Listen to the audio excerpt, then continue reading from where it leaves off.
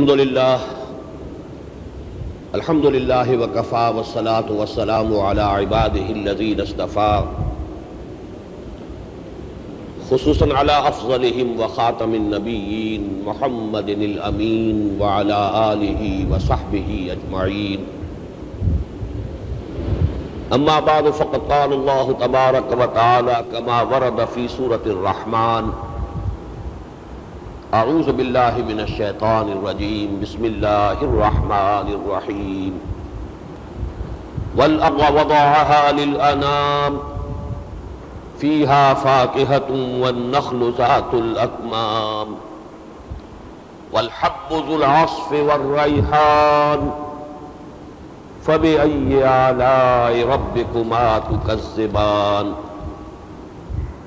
वक़ाल तबारक व तआला कमा वरद फ़ी सूरतिल अनफाल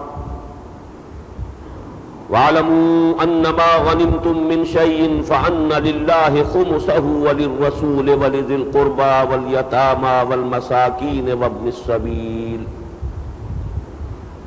वक़ाल अज़्ज़ व कमा वरद फ़ी सूरतिल हश्र मा अफा अल्लाहु अला रसूलिही मिन अहलिल कुरा फलिल्लाहि वलिर्रसूल वलिदिल कुर्बा वल यतामा वल मसाकीन व इब्निस सबील कई ला यकून दूलतम बैनल अगनियाइ मिनकुम।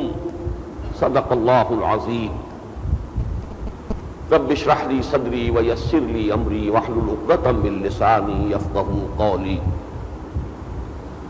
अल्लाहुम्म रब्बना अलहिमना रुश्दना वअइज़ना मिन शुरूरि अनफुसिना अल्लाहुम्म अरिनल हक़्क़ हक़्क़न वरज़ुक़ना इत्तिबाअह व अरिनल बातिल बातिलन वरज़ुक़ना इज्तिनाबह अल्लाहुम्म वफ़्फ़िक़ना लिमा तुहिब्बु व तर्दा आमीन या रब्बल आलमीन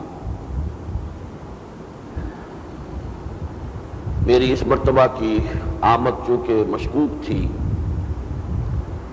इसलिए कि अखबारी इतला के ज़रिए तो ये मालूम हुआ था कि मेरी सिंध में आमद पर पाबंदी लगा दी गई है।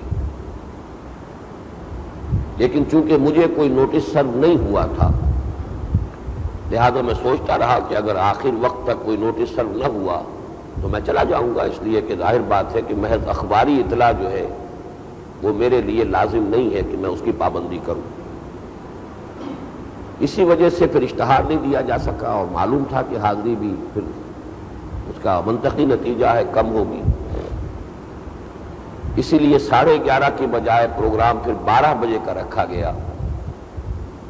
बहरहाल आप में से जिन हजरात के निकाह से आज की अखबारी इतला गुजर चुकी है तो जहाँ तक मौजू का ताल्लुक है, वो उनके इल्म में है।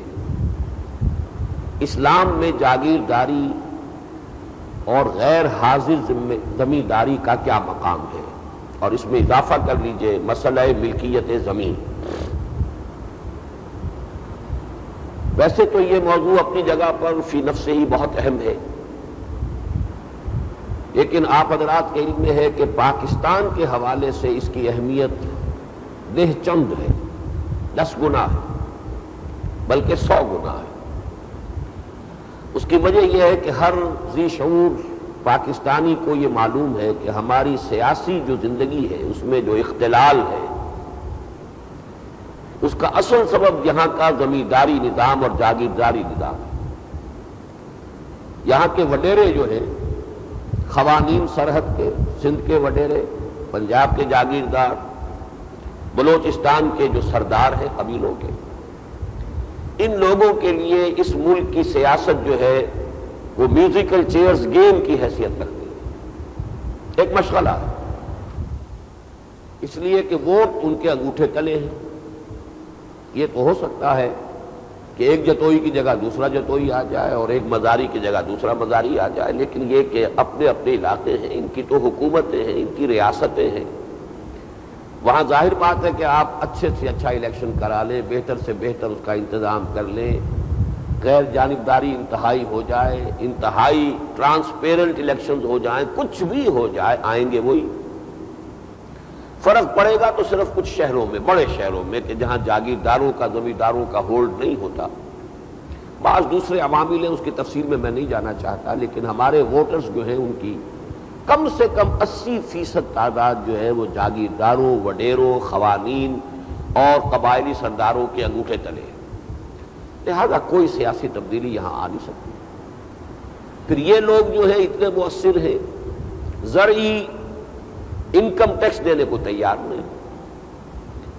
एक मुलाजिम बेचारा जो है, सत्रह ग्रेड का कोई मुलाजिम है, उसने न मालूम कितनी मेहनत की है, मुशक्क़त की है एम ए किया है एम एस सी किया, कहीं लेक्चरर लगा है, उसकी तनख्वाह से तो on source income tax cut जाएगा। लेकिन ये बड़ी बड़ी जमीनों के मालिक बैठे हुए हैं और वो टैक्स देने को तैयार नहीं। ज़ाहिर बात है, सियासी ताकत उनके पास है। टैक्सेशन जब भी फैसले होंगे, असल असल इख्तियार उनके पास है।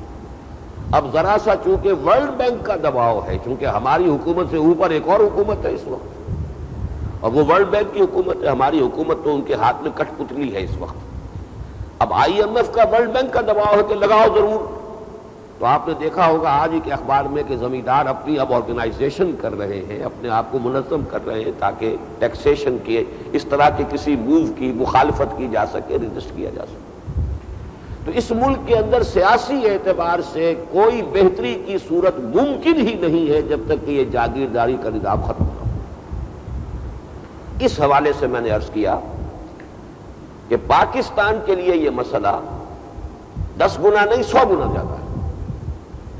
और उसके जिम्न में बाद में मैं आपसे अर्ज़ करूँगा कि किस तरीके से एक खास तर्ज फ़िक्र जो हमारे यहाँ है, फिकही, उसके नतीजे में ज़रिए इसलाहत का आइंदा दरवाज़ा मुस्तकिलन बंद कर दिया गया है।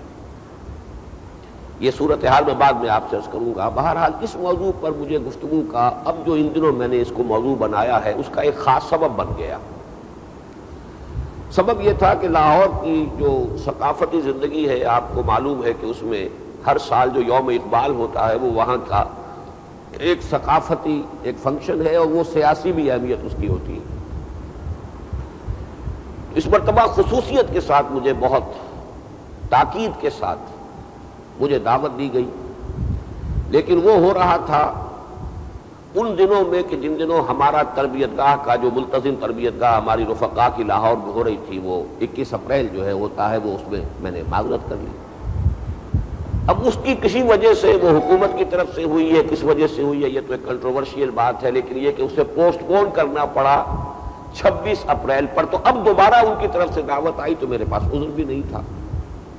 तो मैं उसमें शरीक हुआ और उसमें जो मैंने तकरीर की, अल्हम्दुलिल्लाह कुछ बाज़ात ऐसा होता है, तबीयत में इंशरा होता है ख़ास। कभी आदमी अपने आप को मजबूरन मार बाँध कर तकरीर कर रहा होता है कि अब ऐलान हुआ हुआ है, तबीयत तो आमादा नहीं है, लेकिन बहरहाल लोग आए हैं तो बात करनी है। तो ये मनशत, निशात की कैफियत और कुछ कब्ज की कैफियत ये इंसानों के अंदर आती रहती है। उस वक्त कुछ नशात की कैफियत थी तो तकरीर भी अच्छी हो गई, अल्लाह का शुक्र है, उसका चर्चा हुआ काफ़ी। उसका एक ख़ास नुकता जो था जो मैंने बयान किया वो ये था कि अल्लामा इकबाल के बारे में मुफक्र पाकिस्तान मुसविर पाकिस्तान ये अल्फाज तो सभी इस्तेमाल करते, मैंने भी इस्तेमाल किए लेकिन मैं आज एक नया लफ्ज इस्तेमाल कर रहा हूँ मुबशर पाकिस्तान। इसलिए कि उन्होंने सत्रह साल पहले पेशन गोई की थी और वो तजवीज नहीं थी। पाकिस्तान का रेजोल्यूशन तो सन चालीस में पास हो रहा है। पाकिस्तान वजूद में आ रहा है सन सैतालीस में। पाकिस्तान रेजोल्यूशन से 10 साल पहले सन तीस में जो खुतब आबाद था, लामा इकबाल का, उसमें उन्होंने पेशेन गोई की थी और बड़े यकीन के साथ। अंग्रेज़ी का लफ्ज है डेस्टिनी मैं ये महसूस करता हूँ कि ये डेस्टिनी है, तकदीर मुबरम है, अटल है अल्लाह की तकदीर के होकर रहेगा। वो क्या होकर रहेगा कि हिंदुस्तान के शिमाल मगरब में एक आज़ाद मुसलमान रियासत कायम होगी। ये एक प्रोफेसी थी, एक पेशन गोई थी, लेकिन बड़ी कन्विक्शन के साथ थी, बड़े यकीन के साथ थी। लेकिन इसके साथ जो उन्होंने बात कही थी, अब उसके हवाले से मैंने एक मसला जो है वो शुरू किया कि अल्लामा इकबाल ने जहाँ ये पेशन गोई की थी, इस पाकिस्तान के क्याम की, बगैर पाकिस्तान का लफ्ज इस्तेमाल किए हुए, ना उस वक्त कोई तस्वुर था इसका।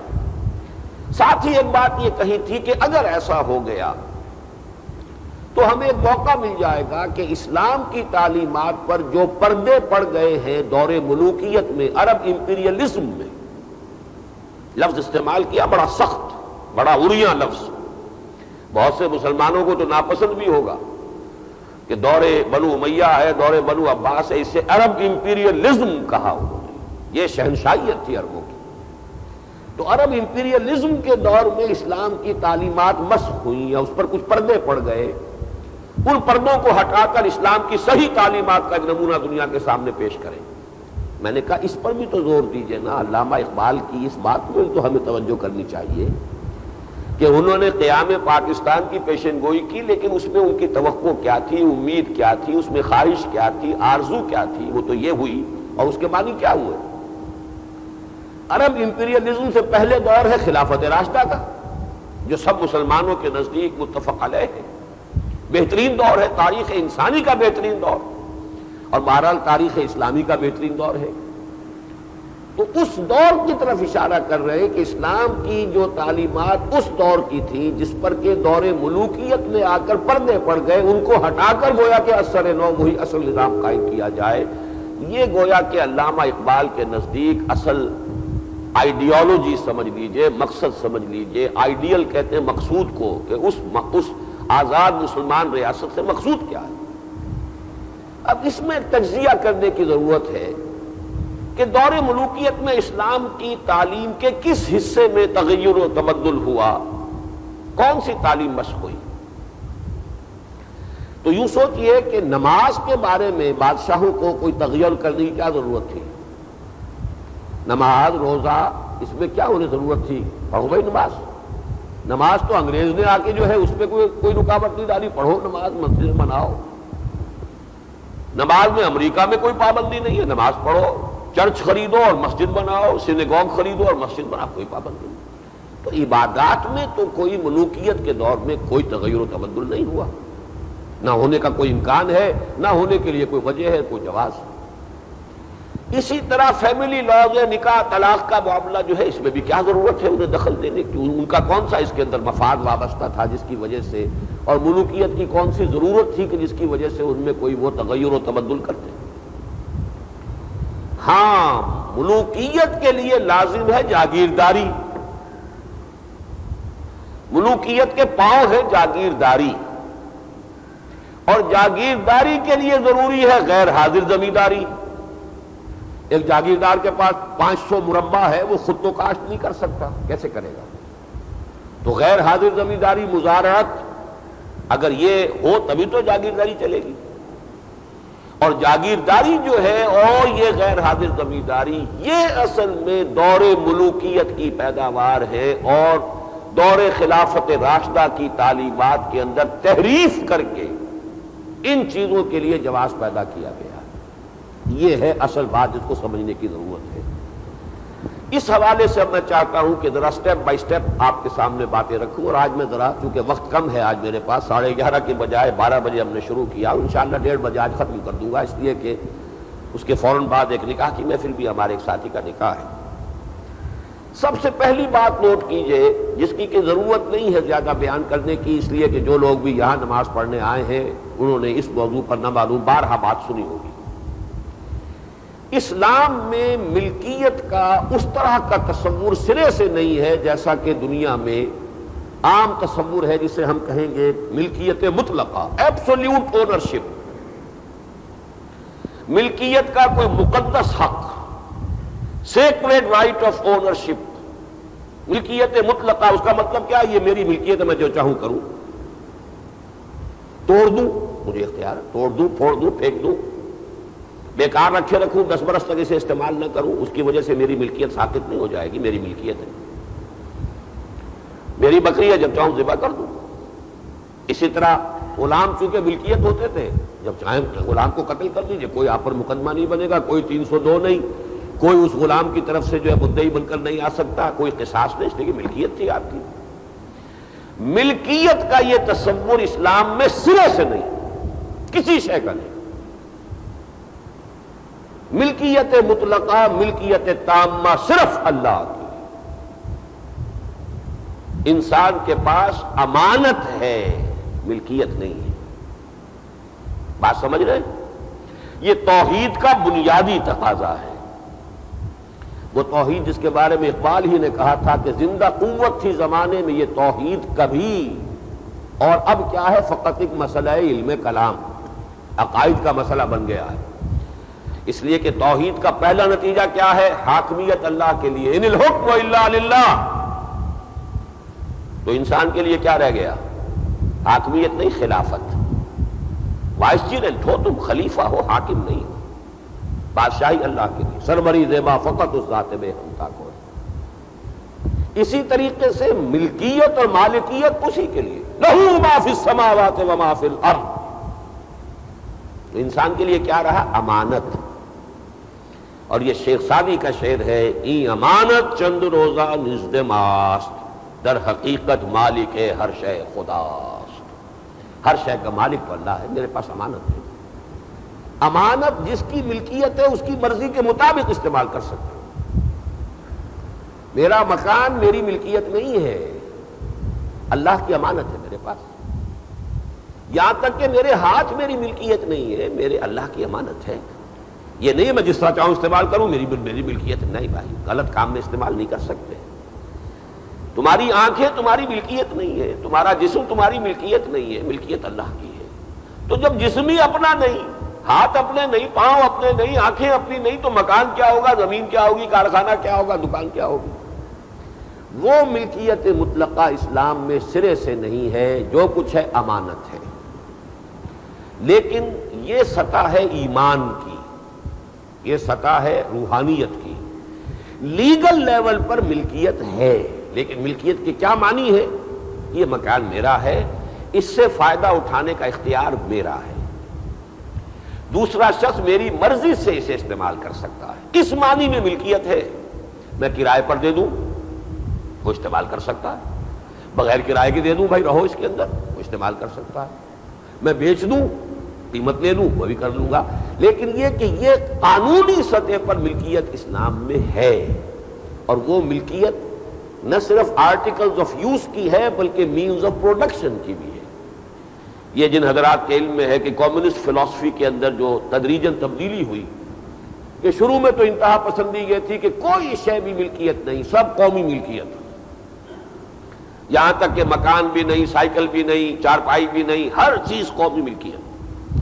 रफ्ता रफ्ता फिर उन्होंने तब्दीली की कि नहीं भाई, जो आम इस्तेमाल की चीज़ें हैं, वो तो इंफरादी मिल्कियत में हो सकती है। मकान तुम्हारा हो सकता है, साइकिल या कार या जो भी हो, सवारी तुम्हारी हो सकती है। फिर और रियायत दी कि तुम अपने, जो तुम्हारा मकान है, उसके सहन में अगर और उस कहीं कोई सब्ज़ी काश्त कर लो, वो भी तुम्हारी हो सकती है। वो सब रफ्ता रफ्ता। लेकिन मीन्स ऑफ़ प्रोडक्शन जराए पैदावार इंफरादी मिल्कियत में नहीं होंगे। दुकान इंफरादी मिल्कियत में नहीं होगी, कारखाना इंफरादी मिल्कियत में नहीं होगा, खेत इंफरादी मिल्कियत में नहीं होगा। ये तकसीम जो है मार्क्सिस्ट फिलोसफी की या कम्युनिज्म की इस्लाम में नहीं है। मिल्कियत मुतलका अल्लाह की कानूनी मिल्कियत इंसान की हो सकती है और कानूनी मिल्कियत आम इस्तेमाल की चीज़ों की भी हो सकती है और जराए पैदावार की भी हो सकती है, खेत की भी हो सकती है, ज़मीन की हो सकती है, मकान की हो सकती है, कारखाने की हो सकती है, दुकान की हो सकती है। अलबत् जैसा कि मैंने अर्ज़ किया कि मिल्कियत का मतलब क्या है? हक इंतफा। और गैर उससे फ़ायदा नहीं उठा सकता बगैर मेरी मर्ज़ी के। ये मिल्कियत का तस्वूर है। मैं इससे फ़ायदा उठा सकता हूँ। नाजायज फ़ायदा मैं भी नहीं उठा सकता इसी के मालिक तो अल्लाह है। गलत इस्तेमाल नहीं कर सकता मैं, अपने हाथ का भी मालिक अल्लाह है। अल्लाह की मर्ज़ी के मुताबिक। लेकिन बात यह कि मैं इसे इस्तेमाल कर सकता हूँ, अल्लाह की मर्ज़ी के मुताबिक। ये साइकिल मेरी है मैं इससे फ़ायदा उठाऊँगा, इसे चलाऊँगा, दूसरा मैं किसी को दे दूँ, आरियतन दे दूँ, बख्श दूँ हिमा कर दूँ बेच दूँ, जो कर लूँ, लेकिन यह कि वो मेरी मर्ज़ी के बगैर इसका तसरुफ में नहीं ला सकता। हक तसरुफ हक इंतफा उस फर्द का रहेगा, दूसरा कोई शख्स उसमें तसरुफ नहीं कर सकता, मगर असल मालिक जो है उसकी मर्ज़ी से। अब तीसरे नंबर पर आइए, जहाँ तक ज़मीन का ताल्लुक है, उसकी मिल्कियत ये जो दो मैंने बताया एक मिल्कियत मुतलका, एक कानूनी मिल्कियत। ज़मीन का मामला कानूनी मिल्कियत के एतबार से भी जरा ढीला है। उस तरह का नहीं है कि जैसा कि और चीज़ों की मिल्कियत है। उसका यूँ समझिए, अकली इस्तेदलाल इसका क्या है कि ज़मीन की मिल्कियत उस नौयत की नहीं हो सकती, जिस नौयत की मिल्कियत मकान की हो सकती है, जिस नौयत की मिल्कियत दुकान की हो सकती है। जिस नौ की मिल्कियत कारखाने की हो सकती है, ज़मीन की मिल्कियत उस नौयत की नहीं हो सकती, क्यों? अकली इस्तलाल यह है कि इस ज़मीन पर अल्लाह ताला ने जो हयात और ज़िंदगी का सिलसिला पैदा फरमाया, ज़िंदगी के लिए चार चीज़ें नागुजीर हैं।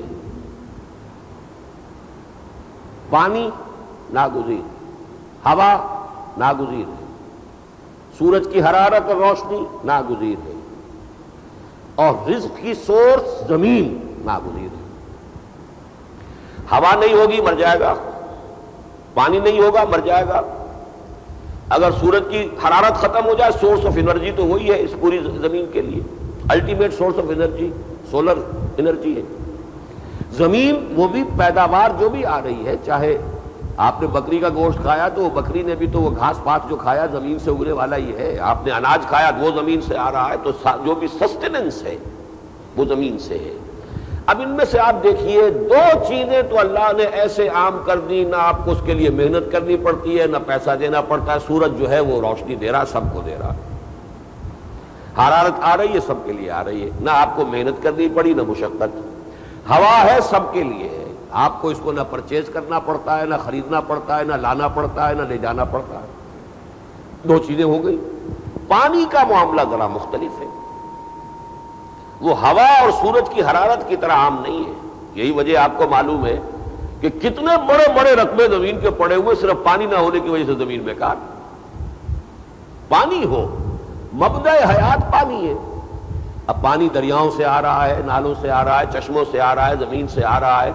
पानी के ऊपर मेहनत करनी पड़ती है तो पानी मिलता है। ज़मीन में कुआँ खोदेंगे, खींचेंगे तो पानी मिलेगा। हैंडपंप लगाएँगे तो उसमें एनर्जी लगाएँगे तो पानी मिलेगा। ट्यूबवेल लगाएँगे तो उसके लिए कोई इंजन लगाएँगे या बिजली खर्च करेंगे तो पानी मिलेगा। दरियाओं का पानी आ रहा है, उसे रोकेंगे नहीं, समुद्र में पहुँच जाएगा, रोकेंगे, जमा करेंगे, डैम बनाएँगे, बैराजेस बनाएँगे तो उसे इस्तेमाल करेंगे। उस पर खर्च आएगा, उस पर मेहनत आएगी, उसका अभियाना देना पड़ेगा। लेकिन पानी से भी आगे बढ़कर मामला ज़मीन का है। ज़मीन बहुत ज़्यादा मुशक्कत मांगती है। ज़मीन को काश्त कीजिए, ज़मीन में हल चलाइए, ज़मीन को तैयार कीजिए, गैर हमवारी उसकी दूर कीजिए।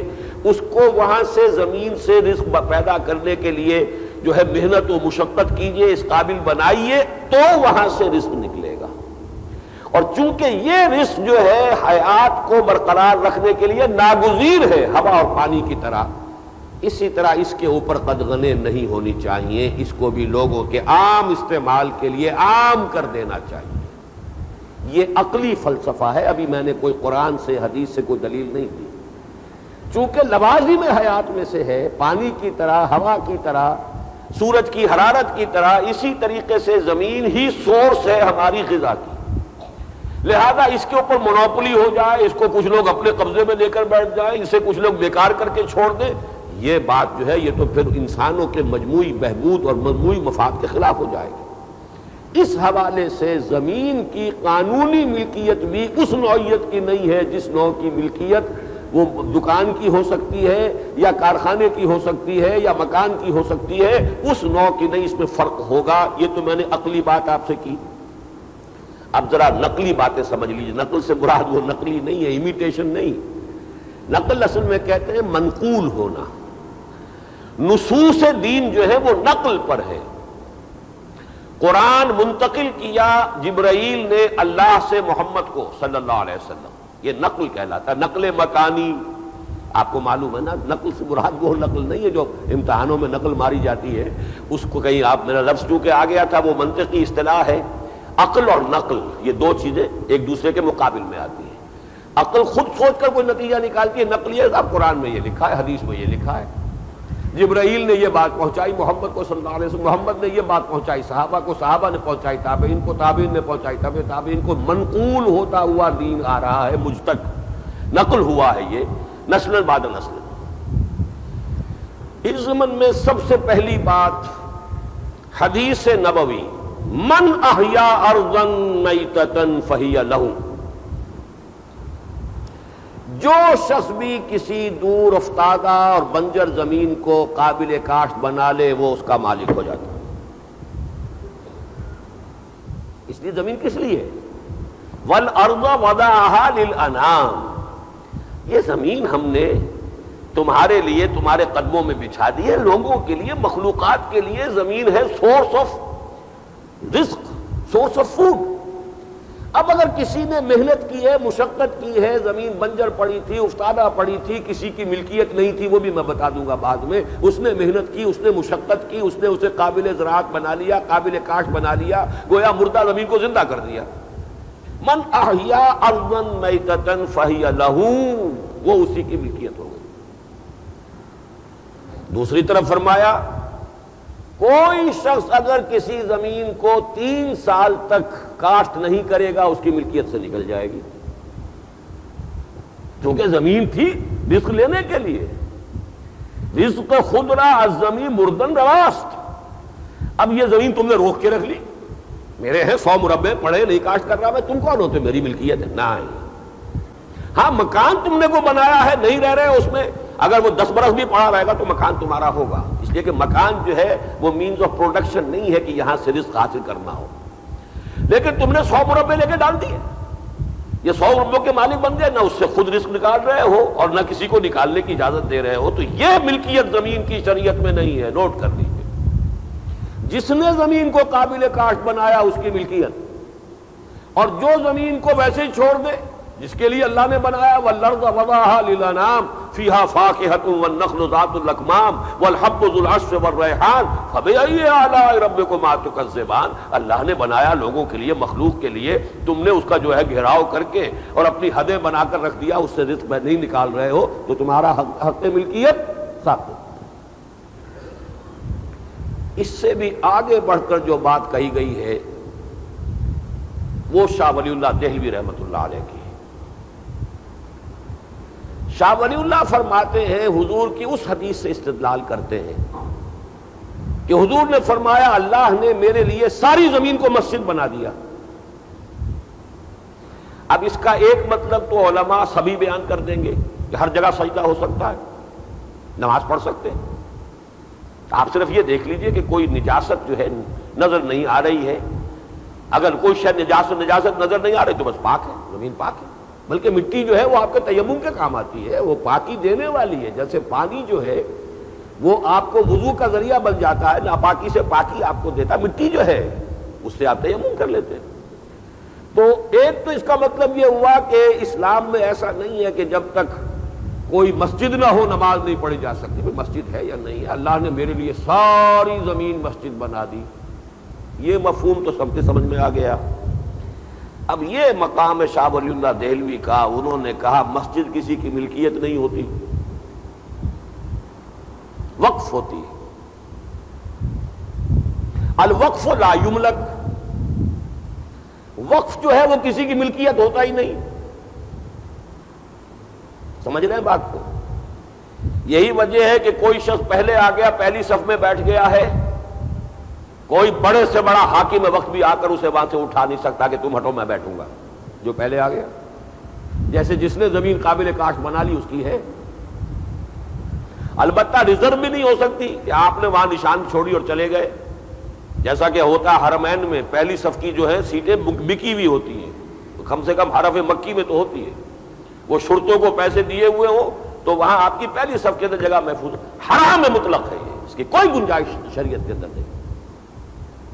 First come, first serve. और हमाम हराम तो न मालूम और कौन कौन से वहाँ हो रहे हैं। सबसे बड़ा हराम तो मैं बाद में बताऊँगा जो वहाँ हो रहा है। वो मस्जिद हराम और बलदुल हराम में सबसे बड़ा हराम जो हो रहा है। हजूर की हदीस है, मन अकल किरा अर्ज़ मक्का फ़कत अकल रिबा। जिस शख्स ने मक्के की ज़मीन का किराया खाया, उसने सूद खाया। और आज सबसे बड़ा खर्चा जो हाजियों को करना पड़ता है या उम्र करने करने वालों के लिए, वो वहाँ पर रिहाइश का है। ये तो हराम का एक वो है समझिए कि दुनिया के अंदर जो है, इस तरह वो हनीन मरिया हो गया है, जैसे ये सूद है, आज हम हर शय के अंदर सूद है, ऐसे वहाँ पर भी वो फकत अकलर रिबाई है ना तो रिबा से तो कोई भी बचा हुआ नहीं तो वो भी बचे हुए चलिए, खत्म हुई बात। तो इस तरीके से समझ लीजिए कि शाह वली के नज़दीक ज़मीन, अब मैं आपको उनकी एक इबारत जो है हजतुल्लाबालिगा से सुना रहा हूँ। अकूल अल असलफी है मा आओ माना।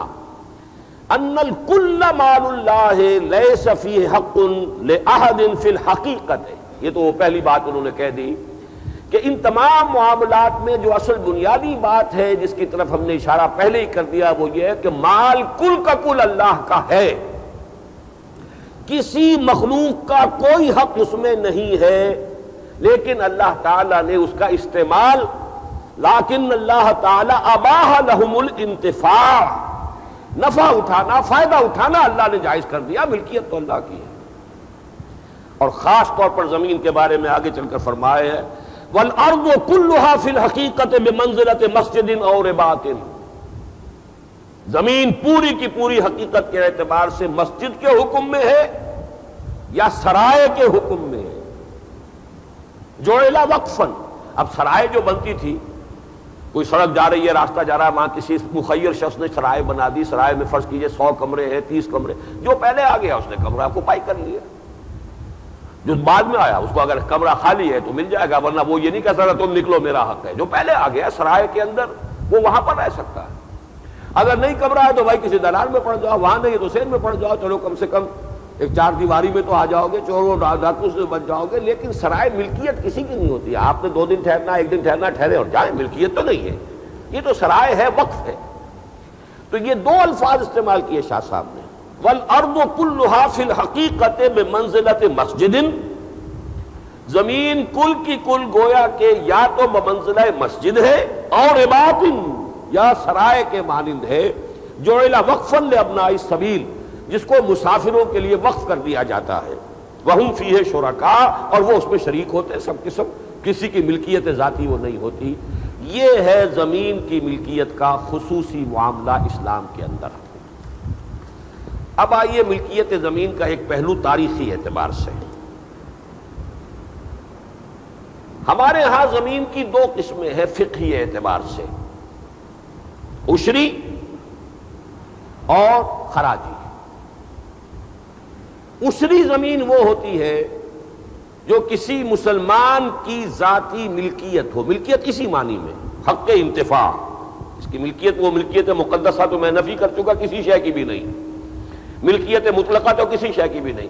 यही जो महदूद मिल्कियत है, अगर किसी मुसलमान की वो जाती मिल्कियत है तो वो उशरी ज़मीन कहलाती है। और उसमें से जैसे मुसलमान के माल में से जक़ात है उशरी ज़मीन में से उशर है। पैदावार का दसवां हिस्सा या बीसवां हिस्सा। अगर बारानी ज़मीन है, सिर्फ़ बारिश से शराब हो रही है तो दसवां हिस्सा दोगे। लेकिन तुम्हें कोई पैसा नहीं देना पड़ा, आसमान से अल्लाह ने पानी बरसा दिया। लेकिन अगर आपने नहर से लिया तो आबियानिया, आबियाना दिया है। अगर आपने ट्यूबवेल लगाया है तो उसमें आपने बिजली का खर्चा बर्दाश्त किया है। ट्यूबवेल की कॉस्ट आप पर पड़ी है, फिर उसमें या डीजल चल रहा है तो डीजल, लिहाजा वहाँ फाइव परसेंट निसफ ओशन बीसवां हिस्सा। लेकिन अगर सिर्फ़ अल्लाह ताला की तरफ़ से और कोई ज़मीन जो है या कोई जो फितरी नाले और नदियाँ आ रही है, उनके ज़रिए से है, जिसपे आपकी कोई मेहनत नहीं है नेचुरल इरीगेशन है तो दसवां हिस्सा ये है उशरी ज़मीन। एक खराजी ज़मीन होती है जो किसी मुसलमान की इंफरादी मिल्कियत नहीं होती, मुसलमानों की इज्तमाही मिल्कियत होती है जिससे खराज जाता है बराह रास्त बैतुल माल के अंदर। अब इसका जो पस मंजर है वो समझ लीजिए कि यह तकसीम कब हुई। जब हज़रत उमर रज़ी अल्लाह तु के अहद खिलाफत में बड़े बड़े मुल्क फतह हो गए। इराक फतह हो गया, शाम फतह हो गया, ईरान फतह हो गया, मिस्र फतह हो गया। इसको कहा जाता है the fertile crescent of the middle east बड़े बड़े रकबे पूरे पूरे मुल्क। और चंद हज़ार थे वो सहाबा जिन्होंने ये सारे मुल्क फतह कर लिए, अल्लाह की मदद से, अल्लाह की ताइद से, नुसरत से। अब सवाल पैदा हुआ कि यहाँ की जमीनों की क्या हैसियत है? बाद सहाबा ने बड़े ज़ोर के साथ यह बात सामने रखी कि यह माल गनीमत है। और माल गनीमत का हुक्म कुरान मजीद में आ चुका है। पांचवा हिस्सा बैतुल माल का। चार हिस्से मुजाहिदीन में तकसीम हो जाए। वो मैंने आयत इसलिए पढ़ी थी, आज ये दसवें पारे की पहली आयत है और सूर्य अनफाल की आयत नंबर इकतालीस। वालमू अन्नमा गनिम तुम मिन मुसलमानों, जान लो, तुम्हें जो भी माल गनीमत मिले। फ़ान खो मुसहू वली रसूल वली दिलकुरबा वली यतामा वल मसाकिन वबन सबील। तो उसका पांचवा हिस्सा अल्लाह के लिए है, उसके रसूल के लिए है, रसूल के कराबतदारों के लिए है और यतीमों के लिए, मिस्किनों के लिए और मुसाफिरों के लिए। बाकी चार हिस्से मुजाहिदीन में तकसीम कर दिए जाएँगे। सवार को दोहरा और पैदल प्यादे को अकेला इसलिए कि सवारी भी जो लेके जाता था तो उसका चारा खुद ही खर्च करता था ना, उसके लिए उसकी देखभाल खुद करता था। वहाँ वो सप्लाई लाइंस तो होती नहीं थी जो आर्मी में आजकल है। तो जो भी जाते थे वॉलंटियर्स होते थे, अपना राशन भी खुद ही साथ लेकर जा रहे हैं, और अगर सवारी है, घोड़ा है, या ऊँट है तो उसके लिए भी खुद ही बंदोबस्त करना है। लिहाजा जो भी माउंटेन है, उनका दोहरा हिस्सा, इसलिए कि उसमें उनके साथ उनका हैवान भी शरीक हो गया है, वो घोड़ा या ऊँट, और जो अब पैदल है, उसका अकेला। अब उन्होंने कहा, साहब तकसीम कर दीजिए इसके क्या मानी होते कि तारीख इंसानी का सबसे बड़ा जागीरदाराना निज़ाम कायम हो जाता। इससे भी ज़्यादा समझिए कि इसका नतीजा क्या निकलता। ये पूरा मुल्क हमने फतह किया है ना? तो पूरे मुल्क की आबादी को, लोगों को भी तकसीम कर दीजिए, ये हमारे गुलाम हैं। इनकी औरतों की तकसीम कर दीजिए, ये हमारी कनीजें हैं। अगर माल गनीमत का किया जाएगा तो क्या नतीजा निकलता उसका? अगर ये सारे मुल्क माल गनीमत है तो पांचवा हिस्सा तो जो है रियासत का है, बैतुल माल का है। चार इसे तकसीम कीजिए। हज़रत उमर रज़ी अल्लाह तु उनकी जो शान में हजूर ने मुताद अहादीस है। अलहक यंत को उमर। हक जो है, उमर की जबान पर बोलता है। लौकाना बादी नबी लकाना उमर। मेरे बाद कोई नबी होता तो उमर होते। उमर जिस रास्ते से जाता है, शैतान कन्नी कतरा जाता बहुत से मामला जो है ऐसे हुए हैं जो हज़रत उमर की सोच के मुताबिक वही नाजिल हुई। हज़रत उमर ने पहले कहना शुरू किया, ये औरतों के लिए हिजाब वगैरह होना चाहिए, ये इस तरह इनका खुले इस तरीके से बाहर मर्दों में आना ठीक नहीं है। फिर वो आयात हिजाब नाजिल हुई। हज़रत उमर का फैसला था या मशवरा था, गजवा बदर के असीरों को कि सबको कत्ल किया जाए। हुजूर का और चूँकि आपकी तबीयत में नरमी और रहम आपकी तबीयत में जो है वो बहुत ज़्यादा उसका गलबा था तो आपने और हज़रत अबू बकर की राय के मुताबिक जो है उसको उनसे फिरिया लेकर छोड़ने का फैसला किया। लेकिन सूर्य अल्फाल की आयात ने आकर कहा कि सही मायत वही थी जो उमर की थी रज़ी अल्लाह तला। तो हज़रत उमर का बहुत ऊँचा मकाम है। उन्होंने सोचा कि अगर ये मामला इस तरीके से हो गया तो ये तो बड़ी जागीरदारी का निज़ाम बन जाएगा। उन्होंने इश्तेहाद किया कि ये माल गनीमत नहीं है, माल फै है। माल गनीमत का इतलाक होगा सिर्फ़ उस माल गनीमत पर के जो महाज जंग पर मिले। कादसिया में जंग हुई, यरमूक में जंग हुई, जहाँ भी जंग हुई है, इतनी तलवारें मिल गई, भाग गए दो दो अपने हथियार छोड़कर ढाले मिल गई, इतने लोग मर गए, उनके हथियार मिल गए, इतने ऊँट उनके साथ थे, बकरियाँ थी, उनका रसद का सामान था या इतने कैदी बन गए, वहाँ पर फौजी या कोई औरतें साथ थी तो वो कनीजे बन गई। महाजे जंग पर जो कुछ है, वो माले गनीमत होगा। पांचवा हिस्सा बैतुल माल, चार हिस्से मुजाहिदीन लेकिन बकिया, ये सारे मुल्क, इसकी जमीनें, इनकी तमाम जायदादें, इनकी पूरी आबादी ये किसी मुसलमान की जाति मिल्कियत नहीं होगी। ये असल में अब रियासत इस्लामी की मिल्कियत है, उम्मत मुस्लिमा की मिल्कियत है, ये इज्तमाही मिल्कियत है। इस पर ये लोग काम करेंगे। ये खुद जो है, चाहे मजूसी है, चाहे वो चाहे वो शाम के ईसाई हैं और चाहे वो मिस्र के किमती हैं, काश्त करेंगे, खराज देंगे। बैतुल माल में, ताकि बैतुल माल में वो रकम सारी जाए तो बैतुल माल से सारे मुसलमानों की बहबूद में खर्च हो, भलाई में खर्च हो, अल्लाह के दीन की इशात में खर्च हो, अल्लाह के दीन के रास्ते में जिहाद के लिए खर्च हो, ये सारी इनकम जाएगी बैतुल माल में, और इसका नाम है खराज। इस एतबार से तय कर लिया गया, जो मुल्क, जो इलाका किसी भी वक्त बजोर शमशीर फतह होगा उसकी जमीनें, कुल की कुल।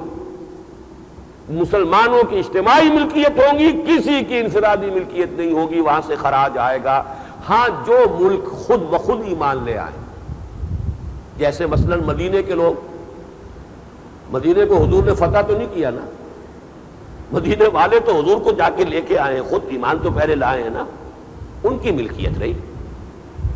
या इंडोनेशिया है वहाँ कभी फौज कशी नहीं की मुसलमानों ने। ये सारे जजायर शर्कुल हिंद जो है, मलाया, सुमाट्रा, जावा, ये सब जो अब मलेशिया और इंडोनेशिया वगैरह में जो तमाम ये जितने जजायर हैं, यहाँ के लोग खुद इस्लाम लाए।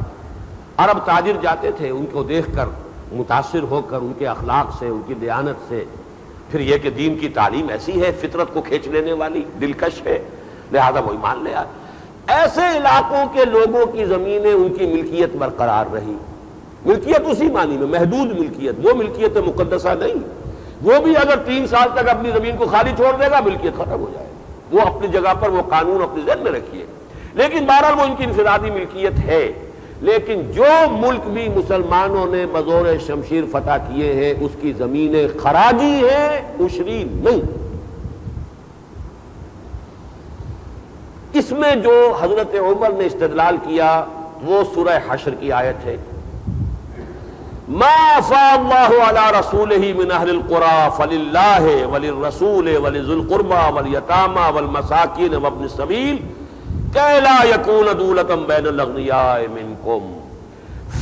माल जो भी होगा, वो सारा का सारा अल्लाह का, अल्लाह के रसूल का, अल्लाह के रसूल के कराबतदारों के लिए, यतीमों के लिए, मसाकिन के लिए, मुसाफिरों के लिए खर्च होगा। अल्लाह के लिए जो हिस्सा है, वो अल्लाह के दीन के लिए खर्च होगा। रसूल की अपनी कोई ज़रिया आमदनी नहीं थी, जैसे कि माल गनीमत में पाँचवें हिस्से में उनका हक था, वैसे ही माल फै में उनका हक है। आखिर उनकी भी बीवियाँ थी, उनके भी अखराज थे, उनको भी नान नफ्ते की ज़रूरत थी। फिर रसूल के अपने कराबतदार हैं, फिर ये कि आम उम्मत के मिसकीन है, यतीम है, वो सारा जिसको आप कहते हैं सोशल इंश्योरेंस, वो सारा का सारा इस माल से पूरा हो जाएगा। तो माल गनीमत का हुक्म भी कुरान में है, माल फे का हुक्म भी कुरान में है। अब यह कि कौन सा माल गनीमत है, कौन सा फे इसमें इश्तिहाद की ज़रूरत थी। और वो इश्तिहाद हज़रत उमर रज़ी अल्लाह ने फरमाया, और इस इश्तिहाद पर झगड़ा भी हुआ। बात जलील कदर सहाबा खड़े हुए कि नहीं, आपका इस्तेलाल गलत है, ये जमीनें जो है, ये इलाके सब माले गनीमत है, माले फै नहीं है। उनमें हज़रत जुबैर तक भी है रज़ी अल्लाह तला उनमें हज़रत बिलाल हारिस भी है, मुजनी, वो भी है। और बड़ी रद्दो कदा हुई। उनका हमारा हक हमने फतह किए हैं।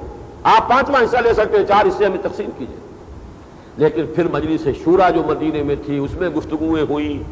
फिर एक खास कमीशन बनाया गया, आज की जबान इस्तेमाल कर रहा हूँ कि जो हजरात ज़मीन के बंदोबस्त के और ज़मीन के ज़रात के माहिर थे, वो तो हौसल खजरत के लोग थे, वो हाजरीफ जो थे, वो तो वो काश्तकार थे ही नहीं। मक्के में कोई काश्त होती नहीं थी, बेबादिन गैर जीजरिन वो तो ताजिर लोग थे। लिहाजा एक कमीशन बनाया गया पाँच सहाबा औस में से, पाँच खजरज में से लेकर के आप सोचिए, उन सबने फिर ये कहा कि आपकी राय दुरुस्त है हज़रत उमर से। और राय और आयुक आपकी राय दुरुस्त है। इस तरह पूरी उम्मत ने तस्लीम किया, इसका नाम इजमा है। ये अब हमेशा के लिए इजमा हो गया। कि जो ममालिक बजोर शमशीर किसी वक्त फतह हुए हैं, उसकी ज़मीनें किसी मुसलमान की, किसी गैर मुस्लिम की इनफरादी मिल्कियत नहीं है, वो इज्तमाही मिल्कियत है। उन पर काम चाहे मुसलमान करे, चाहे गैर मुस्लिम करे, गैर मुस्लिम था, मुसलमान हो जाए, कुछ भी हो जाए, गैर मुस्लिम मुसलमान हो जाएगा, जजिया खत्म हो जाएगा, ज़मीन खराजी रहेगी। ज़मीन की जो नौयत एक दफ़ा तय हो गई है, उसमें कोई तब्दीली नहीं होगी, और ये इनफरादी मिल्कियत नहीं है इज्तमाही मिल्कियत है। ये है कि जिसका जब इजमा हुआ है, हज़रत उमर रज़ी अल्लाह तु के खिलाफ। अब पहली बात तो आप ये समझिए कि इसकी अहमियत क्या है। ये इतनी पूरी बहस मैंने आपको क्यों क्यों सुनाई? मैंने इसी मौजू पर अभी एक किताबचा भी शाये कर दिया है कि जिसमें ये पूरी बहस भी आपको मिल जाएगी पस मंजर मिल जाएगा मसला मिल्कियत ज़मीन के बारे में। और वो आज मैं खास तौर पर यहाँ लेकर आया हूँ और आपको वो लीफलेट मिला होगा, उसमें उसके बारे में मौजूद है सारा ऐलान कि इस शय को ज़्यादा से ज़्यादा आम करने की ज़रूरत है, फैलाने की लोगों को पता ही नहीं। ये पता ही नहीं खराजी किस बला का नाम है उसरी किस बला का नाम अब उसकी अहमियत क्या है? देखिए, अगर किसी ज़मीन के बारे में यह तय हो जाए, ये उशरी है, मिल्कियती है तो आप उसकी एक इंच भी नहीं ले सकते, उससे खरीद सकते हैं।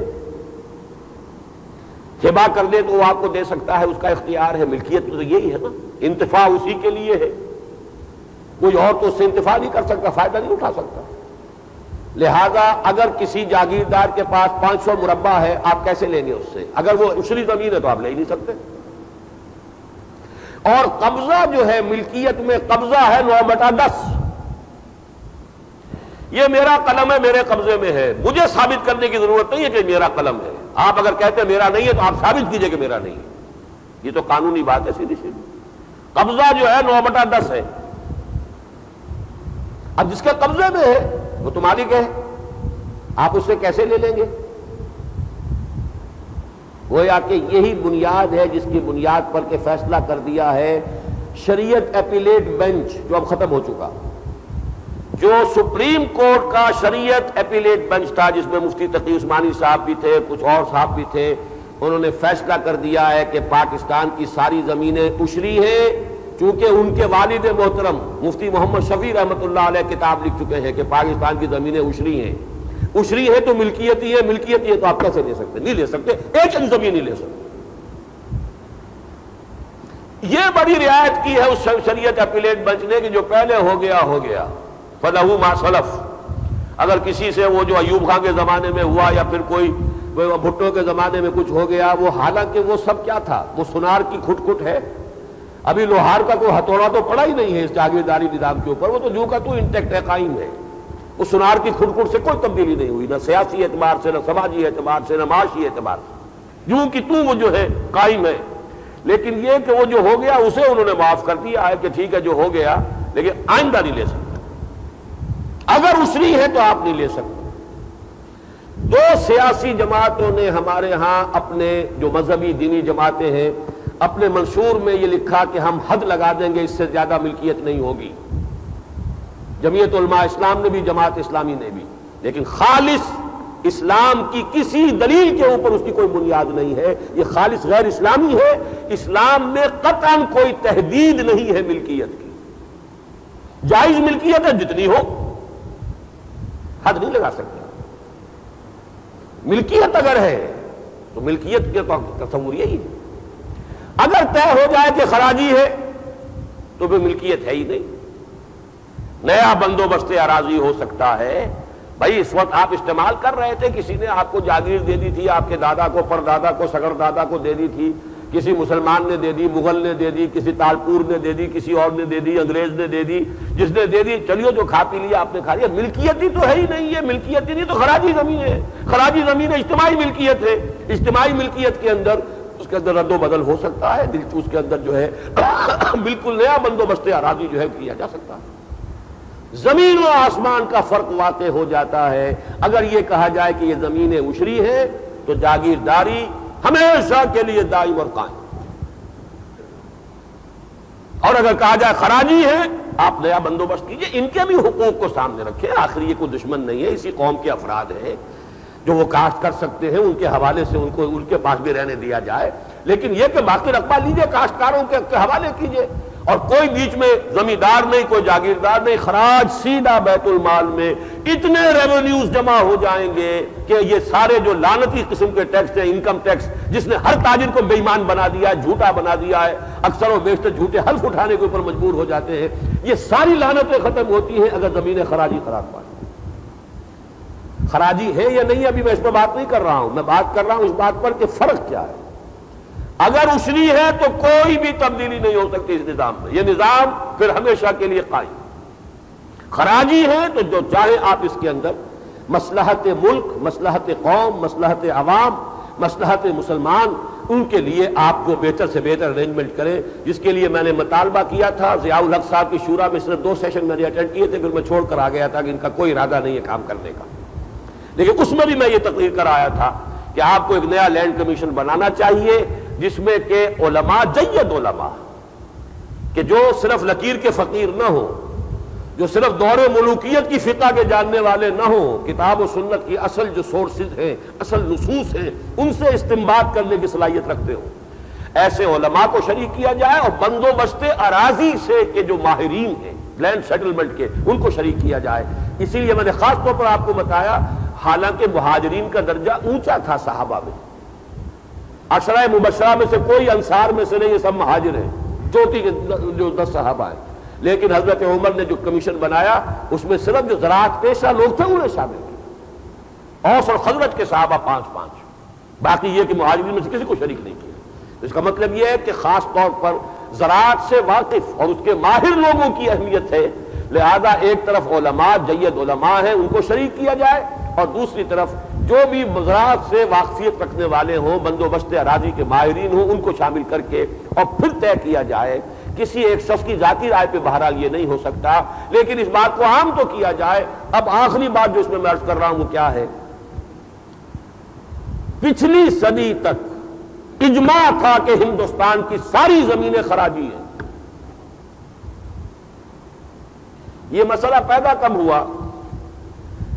देखिए, सत्रह में अंग्रेज़ आया, लॉर्ड क्लाइव ने फतह हासिल की शजाउद्दौला पर। और वो गद्दारी जो हुई, अब छोड़िए उन बातों को, बहरहाल बंगाल पर उसकी हुकूमत हो गई। सत्रह सौ तिरानवे में उसने बंदोबस्त अराजी किया है दवामी बंदोबस्त अराजी सत्रह सौ तिरानवे में। उसके नतीजे में एक जमींदार तबका पैदा किया दरमियान में। उससे पहले कोई जमींदार तबका मौजूद नहीं था वहाँ। इस पर अब फतवे पैदा हुए, शुरू हुए, लोगों ने पूछना शुरू किया कि क्या ये जमीनें उछली हो गई है? उससे पहले सबके नज़दीक खराजी थी। अगर जमींदार को रकबा दे दिया गया तो जमींदार की मिल्कियत हो गई तो मिल्कियत हो गई तो ये उछली हो गई तो उसे उछल देना चाहिए। तो आया इसमें ज़मीन की सूरत हाल जो है वो बदल गई है या अभी जो की तू है? उससे भी पहले, ये तो बात में सत्रह सौ तिरानवे पर ले आया, उससे पहले शेख अब्दुल कद्दूस गंगोही रहमत बहुत बड़े सूफी दरवेश। और उनके खलीफा थे शेख जलालुद्दीन थाने सरी रहमत अब ये जमाना कौन सा है? अब्दुल कदूस गंगोही रहमत वो बुज़ुर्ग है जिनके पास इब्राहिम लोधी गया था दुआ करवाने के लिए कि ये बाबर लश्कर लेकर आ रहा है, दुआ कीजिए कि अल्लाह मुझे फतह दे दे बाबर के मुकाबले में। उन्होंने दुआ नहीं की थी। तो गोया के 1526 की जंग जो है, पहली जंग है पानीपत की, उस वक्त ये शेख अब्दुल कदूस गंगोही मौजूद थे। उसी जमाने में 20 30 40 साल के बाद का ये फतवा मैं आपको बता रहा हूँ, शेख जलालुद्दीन थानी श्री रहमत का, कि हिंदुस्तान की सारी जमीनें खराजी हैं। हिंदुस्तान में कोई ज़मीन उछरी नहीं है। इसलिए कि हर चप्पा चप्पा यहाँ पर फौज कशी के ज़रिए से फतह किया गया। सबसे पहले सिंध फतह हुआ था, फिर उसके बाद जो है वो गौरी के जमाने में, उससे पहले गजनियों के जमाने में रफ्ता रफ्ता फिर बढ़ते बढ़ते बंगाला तक पहुँचे हैं। ये सारा ज़रूर तक हिंदुस्तान में कोई जगह उशरी ज़मीन की नहीं है, सब खराजी ये शेख जलालुद्दीन थानी, अब ये सारी चीज़ें मैं बयान कर रहा हूँ, उस किताबचे में आपको ये सारी चीज़ें मिल जाएँगी। फिर जैसा कि मैंने अर्ज़ किया, मसला पैदा हो गया, खास तौर पर अंग्रेज़ के आने के बाद जब बंदोबस्त दवामी हुआ सत्रह सौ तिरानवे में। अब उस वक्त एक मोहम्मद आला थानवी रहमत ये मौलाना अशरफ अली थानवी रहमत की समझिए शायद पांचवी या छठी पीढ़ी में होंगे बुज़ुर्ग। उन्होंने भी यही कहा कि ये सारी जमीनें जो है, ये खराजी है, कोई उसकी ज़मीन नहीं। शाह अब्दुल अज़ीज़ रहमत का फतवा भी यही हुआ। और सबसे बढ़कर काजी सनाउल्ला पानीपति रहमत जो मीर्जा मजहर जाने जाना रहमत के खलीफा, बहुत बड़े सूफी मुर्शिद, दरवेश। बहुत बड़े मुफसर पूरी तफसीर अरबी में, उनकी तफसीर मजहरी जब अब उर्दू में भी अब उसका तर्जुमा हो गया है। और ये देखिए, असल में बात हमारे बुज़ुर्गों की क्या रिवायत थी। तफसीर लिखने वाले हैं पानीपति काजी सनाउल्ला पानीपति। तफसीर का नाम तफसीर सनाई नहीं रखा। अपने मुर्शिद के नाम पर तफसीर मजहरी मजहरी रखा। अपना नाम नहीं, मुर्शिद का नाम चला। क्योंकि मीर्जा मजहर जाने जाना शहीद रहमत जिन्हें शीयों ने शहीद किया था। शीयत के बहुत खिलाफ थे, उन्हें शहीद किया। मीर्जा मजहर जाने जाना यह हज़रत शेखुल रहमत के सिलसिले के बुज़ुर्ग उनके ये मुरीद हैं तो अपनी तफसीर का नाम रखा, तफसीर मजहरी। और हमारी इस सदी में क्योंकि नाम है, इसलिए ले रहा हूँ, मौलाना सलाउल्ला अमृतसरी ने किताब लिखी, उसका नाम रखा, तफसीर सनाई। ये फ़र्क हो चुका है एक सदी के अंदर अंदर। पिछली सदी का मुफसर अपनी तफसीर का नाम अपने मुर्शिद के नाम पर रख रहा है। इस सदी का मुफसर अपनी तफसीर का नाम अपने नाम पर रख रहा है। बस ये फ़र्क है। अब इसे आप ज़मीन आसमान का फ़र्क नहीं कह सकते जहनीत के एतबार से। बहुत बड़ा फ़र्क है जो वाकई हुआ है हमारी सोच में, हमारे अंदाज में। और अब तो आपको मालूम है तफसीरों की रॉयल्टी और तफसीरों के फिर रॉयल्टियों के झगड़े और उसके मुकदमे क्या होते हैं, जबकि इसका कोई सवाल ही नहीं था असलाफ के यहाँ। कि कोई दीनी तसलीफ और तालीफ पर कोई रॉयल्टी? माज अल्लाह सुम्मा माज अल्लाह सुम्मा माज अल्लाह। मौलाना अशरफ अली थानवी की न मालूम कितनी किताबें हैं? किसी पर कोई रॉयल्टी नहीं है, कोई हफ़्ते तस्लीम नहीं, जो चाहे शायद करें। उन्होंने कोई अपने खानदान वालों के लिए जागीर बनाकर नहीं छोड़ी अपनी किताबें। आज के जमाने में उससे और नीचे कदम चला गया, और आगे बात बढ़ रही है तो जो कुछ हो रहा है उसको छोड़ दीजिए इस वक्त। काजी सनाउल्ला पानीपति, जो बहुत बड़े मुफसर बहुत बड़े मुहदस बहुत बड़े फकी उन्होंने एक किताब लिखी है, माला बुद्धा मिन हो फारसी में इसलिए कि आपको मालूम है कि पिछली सदी तक जो हमारे यहाँ सरकारी जबान थी, वो फारसी थी। अरबी तो कभी भी नहीं थी। हिंदुस्तान में अरबी कभी भी सरकारी जबान नहीं थी। अरबी सिर्फ़ अहले इल्म जानते थे, लेकिन फारसी तो हिंदू भी पढ़ता था, इसलिए कि मुलाजमत करनी होती थी कि नहीं। जैसे अंग्रेज़ के जमाने में हमने अंग्रेज़ी पढ़ी कि नहीं पढ़ी? अंग्रेज़ी पढ़ेंगे तो मुलाजमत मिलेगी। तो मुसलमानों के पूरे दौरे हुकूमत में हिंदू भी फारसी पढ़ता था। आम मुसलमान भी फारसी जानते थे तो फारसी में उन्होंने ये किताब लिखी, माला बुद्धा मिन हो। यानी फिका की वो सारी मालूम के जो हर मुसलमान के लिए ज़रूरी है, उसे अल्लाह और उसके रसूल की मर्ज़ी के मुताबिक ज़िंदगी गुजारनी तो पता तो होना चाहिए ना क्या काम है। माला बुद्धा मिन हो। वो किताब के जिससे कोई मुसलमान मुस्तगनी नहीं हो सकता, बेनियाज नहीं हो सकता, ये हर एक को पढ़नी चाहिए। उसमें साफ़ लिख दिया कि मैं यहाँ उश्र के मसाइल लिखता ही नहीं, इसलिए कि हिंदुस्तान में उशरी ज़मीन है ही नहीं। तो मसाइल लिखने का फ़ायदा क्या है? खाम खा तालिब इलमों के जेलों पर भी बोझ पड़े। खामखा लोग जो है, जिस चीज़ का उनकी जिंदगियों से ताल्लुक नहीं, पूरे हिंदुस्तान में जब उशरी ज़मीन है ही नहीं तो उशर के मसाइल लिखने का क्या फ़ायदा? और वो किताब आज भी हमारे तमाम अरबी मदारिस में पढ़ाई जाती है। फिका की पहली किताब हुई है जिसे प्राइमर कहते हैं। गोया के और काजी सनाउल्ला पानीपति रहमत का सन इंतकाल जो मैंने हिसाब लगाया है, इसलिए कि 1225 हिजरी में इंतकाल हुआ है। गोया के 1815 के आसपास इंतकाल हुआ है। पिछली सदी की बात है, अभी ये कि उस वक्त तक इजमा था कि हिंदुस्तान में कोई ज़मीन उशरी नहीं है, सब खराजी है। लेकिन पाकिस्तान बनने के बाद कुछ ओलमा की राय हो गई। मैं ये नहीं कहता कि वो बदयांती से है या वो है। बहरहाल साहिब इल्म है। इसीलिए मैं कहता हूँ कि मैं कोई नहीं हूँ कहने वाला। मैं तो आम कर रहा हूँ इस बात को। लोगों को मालूम हो जाए कि उशरी और किस बला का नाम है और खराजी किस बला का नाम है। और उशरी हो तो उसका नतीजा क्या निकलता है और खराजी हो तो उसका नतीजा क्या निकलता है? बाकी ये कि उशरी है कि नहीं है, मैं मुफ्ती शफी साहब रहमत के मुकाबले में अपनी बात नहीं कह सकता। हाँ काजी सनाउल्ला की बात आपको सुना सकता हूँ। मैं आपको मोहम्मद आला थानवी रहमत की बात सुना सकता हूँ। मैं आपको शेख जलालुद्दीन थानेसरी रहमत की बात सुना सकता हूँ। मैं आपको शाहब्दुल अज़ीज़ रहमत का फतवा बता सकता हूँ। मेरी हैसियत कोई नहीं। इनकी तो हैसियत है कि नहीं? अगर इनकी राय यह है कि ये सब की सब जो है खराजी है तो फिर गौर करने की ज़रूरत है कि आज के कुछ ओलमा ने अगर उन्हें उशरी करार दे दिया तो क्यों दे दिया, किस दलील से दे दिया, क्या उनके पास दलाइल है? इसीलिए कह रहा हूँ कि जो ओलमा हो जैद ओलमा हो, जो चीज़ों पर लकीर के फकीर ना हो, अब फला बुज़ुर्ग ने लिख दिया, अब मैं कैसे उसके पीछे जा सकता हूँ, उससे हट सकता हूँ? अगर तो इस तरह के ओलमा है, उससे तो बिल्कुल फ़ायदा नहीं होगा। लेकिन यह है कि अगर पीछे जाकर सारा तहकीक कर सके और किताब और सुन्नत के नसूस को समझकर उससे कोई नतीजा निकाल सके तो ये करने का काम है। बहरहाल, मैंने अपने जिम्मे जो काम लिया है तहरीक खिलाफत के तहत जहाँ तकरीर की है, जाकर इस बात को आम किया। कि भाई, यहाँ की जमीनें जो है, पिछली सदी तक हमारे तमाम अकाबिर का कहना यह है कि ये खराजी है। खराजी है तो उसके मानी क्या है? किसी की इनफरादी मिल्कियत नहीं है। इनके ऊपर नया बंदोबस्त अराजी हो सकता है। और जब तक लोहार का हथौड़ा नहीं पड़ेगा इस जागीरदारी के ऊपर, पाकिस्तान के हालात में कोई तब्दीली नहीं कोई सियासी इस्तेकाम नहीं आ सकता। यही लोग हैं।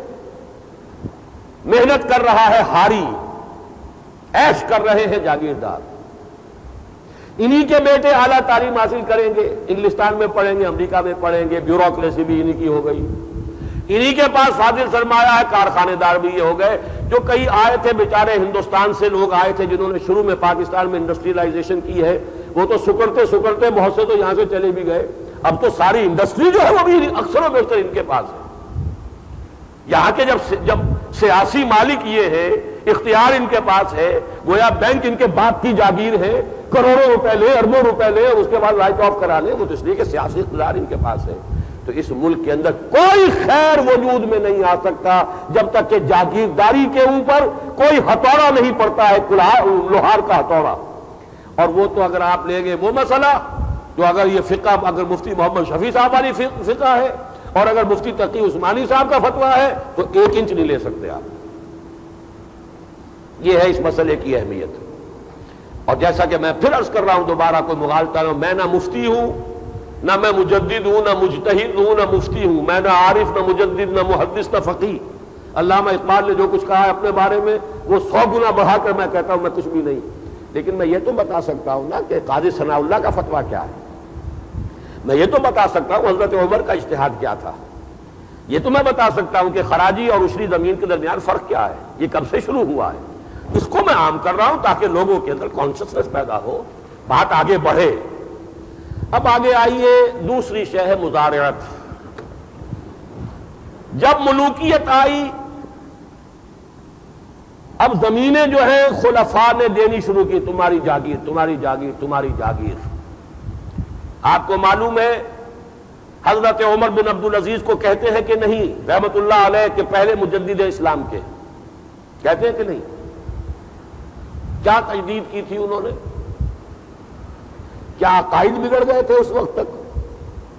अभी ना अकीदे बिगड़े, ना यूनान का फलसफा आया, ना अरस्तु की मंतिक आई, ना कोई और जो है तसवुफ पैदा हुआ, ना तसवुफ के रास्ते से कोई गुमराही आई, कुछ भी तो नहीं ना अभी। अभी तो ना हनफियत का नामो निशान है, ना मालिकियत है, ना कुछ कुछ भी तो नहीं। एक ही काम किया, ज़्यादा ज़्यादा कह ले डेढ़ काम किया। आधा काम तो यह किया कि एक सबक बादशाह ने नामजद किया था। उन्होंने कह दिया, मुसलमानों, मैं इस नामजदगी से तुम्हें बरी करता हूँ। अगर तुम चाहते हो तो मैं खिलाफत का बोझ उठाता हूँ। अगर तुम नहीं चाहते तो महज नामजदगी की वजह से मैं तुम्हारा खलीफा बनने को तैयार नहीं बहुत बड़ा काम था। लोगों ने कहा, नहीं, ठीक है, हम आपको तस्लीम करते हैं। गोया कि अब वो सिर्फ़ मौरूसियत या नामजदगियत की वजह से नहीं आए। इसको मैं आधा कह रहा हूँ। इसलिए कि बहरहाल अगर नामजद न किए गए होते तो यह मसला शुरू ही ना होता। वो तो थे ही बहुत तरह के आदमी थे। जनी यूँ समझिए आराम में ऐश में रहने वाले खेलने वा, कूदने वाले ये तो बाद में जब बोझ आया है और होश ठिकाने आए कि अल्लाह के यहाँ जाके जवाब देना होगा तो इनकलाब अजीम उनकी सीरत में उनके रवैये के अंदर पैदा हुआ। लेकिन जो असल उन्होंने काम किया डेढ़ में जिसको मैंने आधा तो वो शुमार किया एक जो पूरा काम किया वो जागीरों का खात्मा था। अभी जमाना कितना गुजरा था। खुलफाए राष्ट्रीन के बाद दौर आया है हज़रत अमीर मुआविया का, फिर यजीद का, फिर यजीद के बेटे मुआविया का सिर्फ़ छह महीने का, फिर मरवान बिन हकम का आया, फिर अब्दुल मलिक बिन मरवान का। ये समझिए कि बमुश्किल बमुश्किल चालीस बरस गुजरे इन्हीं चालीस सालों में जागीरदारी शुरू हो गई थी। और हज़रत उमर बिन अब्दुल अज़ीज़ ने तजदीद यही तो की है सबके वो वसीके मंगवा लिए, वो डॉक्यूमेंट्स दस्तावेजात। कैंची लेके बैठ गए, सबको कतर कर। आजकल तो मशीनें बन गई ना श्रेडर्स कि बिल्कुल पुर्जा पुर्जा कर दिया जाए, वो श्रेडर्स भी नहीं थे उस वक्त तो उन्होंने तो खुद ही कैंची हाथ में पकड़ी और सारे के सारे जो है बस कतर के फेंके हैं, कोई जागीर लेकिन उनका जमाना भी ऐसा ही था, जैसे हज़रत अबू बकर का दो सवा दो बरस। उसके बाद फिर वही जागीरदारी, वही मुलूकियत, वही अरब इंपीरियलिज्म जिस अरब इंपीरियलिज्म का सबसे बड़ा मजर यह है कि मोहम्मद बिन कासिम यहाँ आ गए थे और मुल्तान तक जा पहुँचे थे इस्लाम लेकर। एक बिल्कुल नौजवान और खालिश अरबी इस्लाम वही था बाद में जो इस्लाम आया, वो आजमी असरात वाला इस्लाम आया। वो फिक्रें बन चुकी थी, उसमें इख्तलाफा शुरू हो चुके थे, उसमें तस्वूफ में गलत चीज़ें भी आ चुकी थी। वो सब कुछ हो चुका था, ये इस्लाम जो आया है 712 ईस्वी में जो इस्लाम यहाँ आया था बानवे हिजरी में जो इस्लाम यहाँ आया था, अभी हिजरी पहली सदी मुकम्मल नहीं हुई थी जब यहाँ यहाँ पर इस्लाम आया है। और अगर मोहम्मद इबन कासिम को यहाँ के लोगों ने देवता समझा, ये नौजवान दर जवानी तोबा करदम शेवा पैगम्बरी ये नौजवान, फरिश्ता सिफत, उसके बुत बनाकर मंदिरों में रख दिए पूजने के लिए। वापस बुला लिया गया। मबादा ये इतना पॉपुलर हो जाए कि हमारे लिए खतरा बन जाए। शहीद कर दिए। उसी वक्त पूरा हिंदुस्तान, उसी वक्त ये सैलाब रुकने वाला नहीं था उसी वक्त। पूरा हिंदुस्तान दारुल इस्लाम बन जाता। इसी तरीके से, उसी दौरे मुलूकियत में, आपको मालूम होना चाहिए, मूसा इब्न नुसैब, जिनका आम एक समझिए सिपाही था, एक जर्नैल था, उनके ताबे तारीख इब्न जियाद जो दाखिल हुआ है वही सन है सन बानवे एक ही सन में इस्लाम सिंध में आया है, हिंदुस्तान में आया सिंध के रास्ते, यूरोप में दाखिल हुआ स्पेन के रास्ते। एक ही सन है, सात सौ बारह ईसवी बानवे हिजरी। लेकिन तारीख इब्न जियाद कहाँ तक पहुँचा? लेकिन मूसा इब्न नुसैर, जो शिमाली जो इलाका था तो अफ्रीका का, वहाँ के वो गवर्नर थे, उन्हें भी वापस बुलाकर शहीद नहीं किया, बहुत बहुत, चूँकि जयीफ थे। धूप में खड़ा रखा है, यहाँ तक बेहोश होकर गिरे। ये मलूकियत होती है। मलूकियत कभी पसंद नहीं कर सकती कोई और शख्स पॉपुलर हो जाए। खतरा। बहरहाल उस मलूकियत के दौर में जागीरदारियाँ शुरू हो गई। और जैसा कि मैंने अर्ज़ किया है, जागीरदारी के लिए ज़रूरत है मुजारियत की। जागीरदार सारी कैसे खुद काश्त करेगा? उससे तो ट्रैक्टर भी नहीं थे। कितनी कर लेगा? खुद काश्त के तहत तो ज़मीन हो ही नहीं सकती ज़्यादा। लिहाजा मुजारत का मसला पैदा हुआ। अब आप समझिए मुजारत का मसला कहाँ से पैदा हुआ, कैसे पैदा हुआ? मुजारत क्या है? बटाई पर ज़मीन देना कि मालिक ये काश्तकार काश्त करेगा। पैदावार आधा तिहाई, चौथाई जो भी होता है, हो जाए तकसीम हो जाएगी, ये मुजार, ये मुजारत है। इसकी कई किस्में हैं, एक किस्म ये भी है कि मालिक के ज़मीन ने सिर्फ़ ज़मीन दी है, ना बीज दिया है, ना हल दिया है, ना बैल दिया कुछ भी नहीं दिया। सब कुछ काश्तकार का है। बैल भी उसके, हल भी उसका, बीज भी उसका, मेहनत भी उसकी। ये गोया के बदतरीन हो गया इस एतबार से कि अगर फ़सल बर्बाद हो गई तो गोया के काश्तकार तो बिल्कुल ही बर्बाद हो गया। जमींदार का क्या गया? जमींदार की ज़मीन जो की तो कायम है, अगली फ़सल में फिर काश्त कर लेगा। लेकिन यह कि अगर बीज भी जमींदार दे, हल दे, बैल दे तो चलिए कुछ ना कुछ उसकी भी इन्वेस्टमेंट हुई। तो उससे कमतर दर्जे की मुजारत है। तो मुजारत के मुख्तलिफ़ किस्में। लेकिन अब नोट कीजिए, चूँकि अहादीस जो है मुजारत के बाब में, उनमें काफ़ी इख्तिलाफ भी है, कुछ तजाद भी है तहारुस भी है। उसकी वजह क्या है? इस मौजू पर चूँकि अल्हम्दुलिल्लाह जमींदारी का निज़ाम और मुजारत के मौजू पर इस दौर के एक बहुत बड़े जैद आलम दीन ने जो कराची में है और अभी अल्हम्दुलिल्लाह बकैद हयात है, मौलाना मोहम्मद तासीम साहब मुतजिल्लो उनका मास्टर पीस उनकी किताब है मुरवजा निज़ाम जमींदारी और इस्लाम। तमाम अहादीस का तकाबुली मुताला करके और उन सब के अंदर कोई तजाद है तो रफा करके हर चीज़ का दलील देकर आखिरी उन्होंने साबित कर दिया है कि मुजारत की हर नौयत हराम मुतलक। अहादीस में तजाद क्यों है, उसका सबब समझ लीजिए।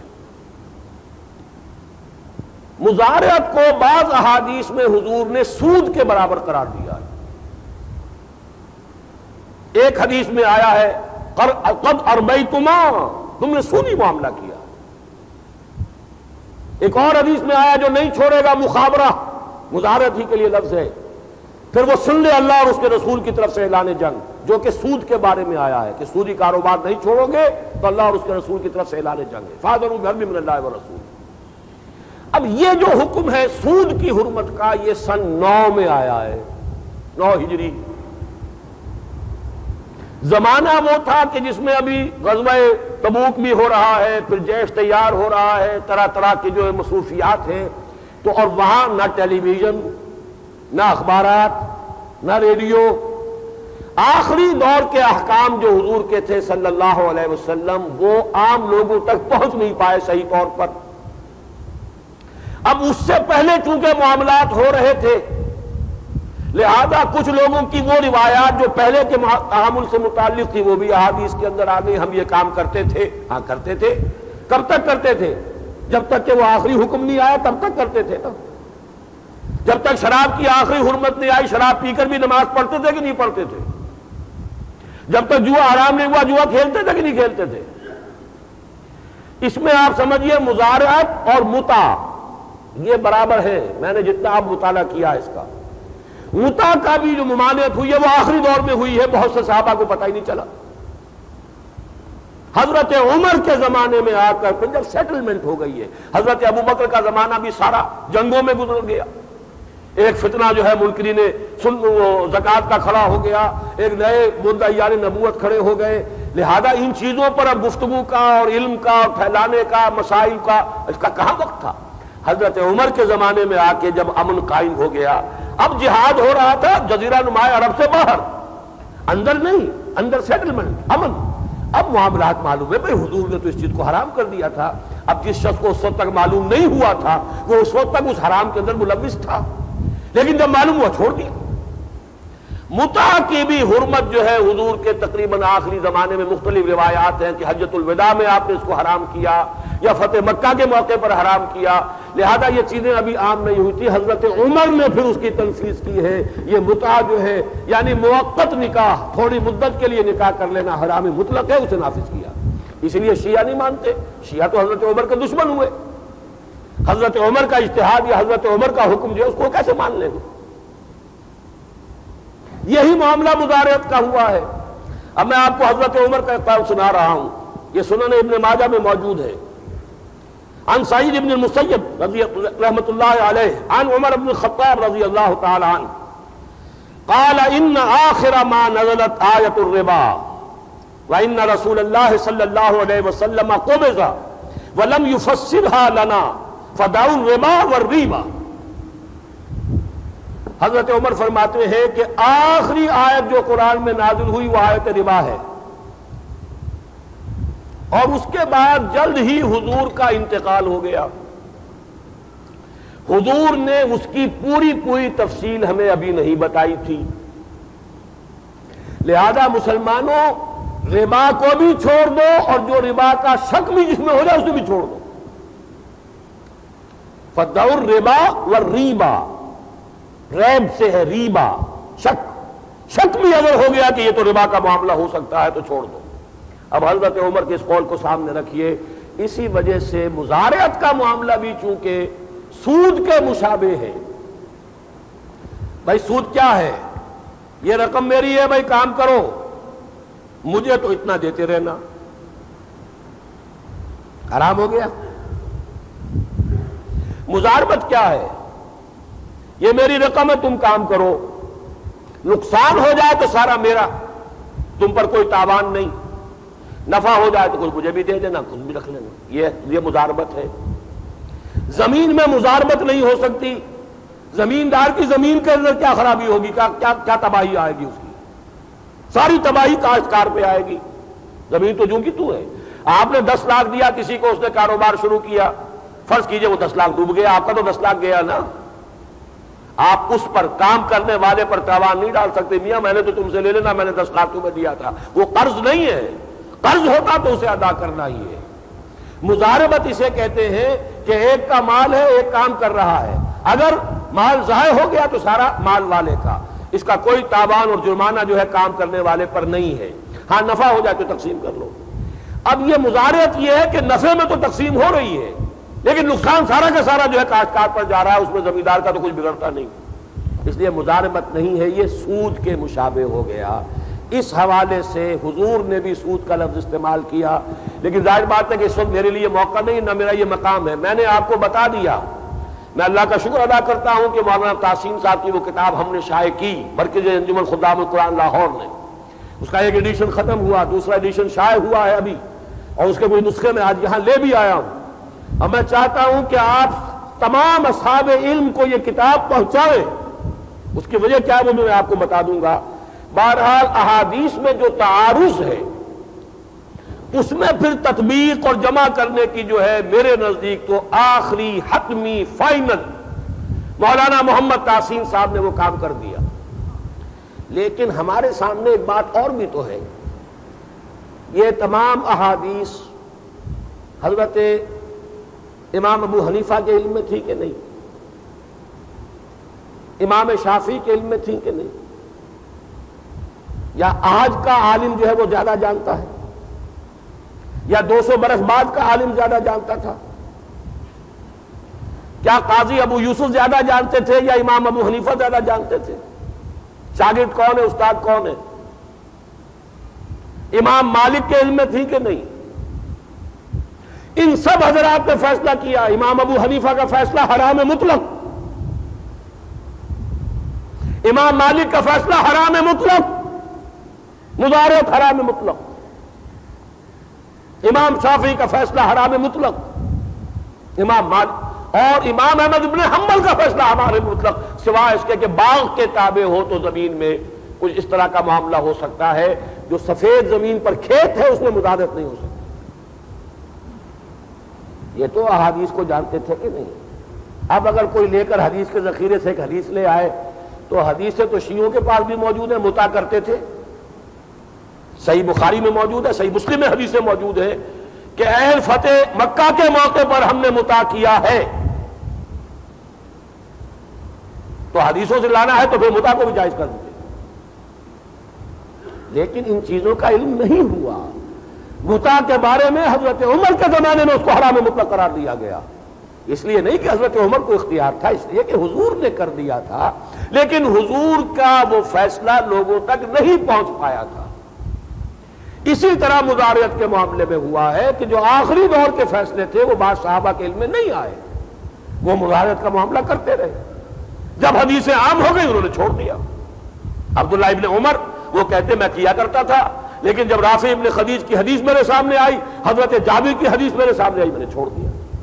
तो ये मामला जो है, इस पर पूरी इल्मी बहस की है।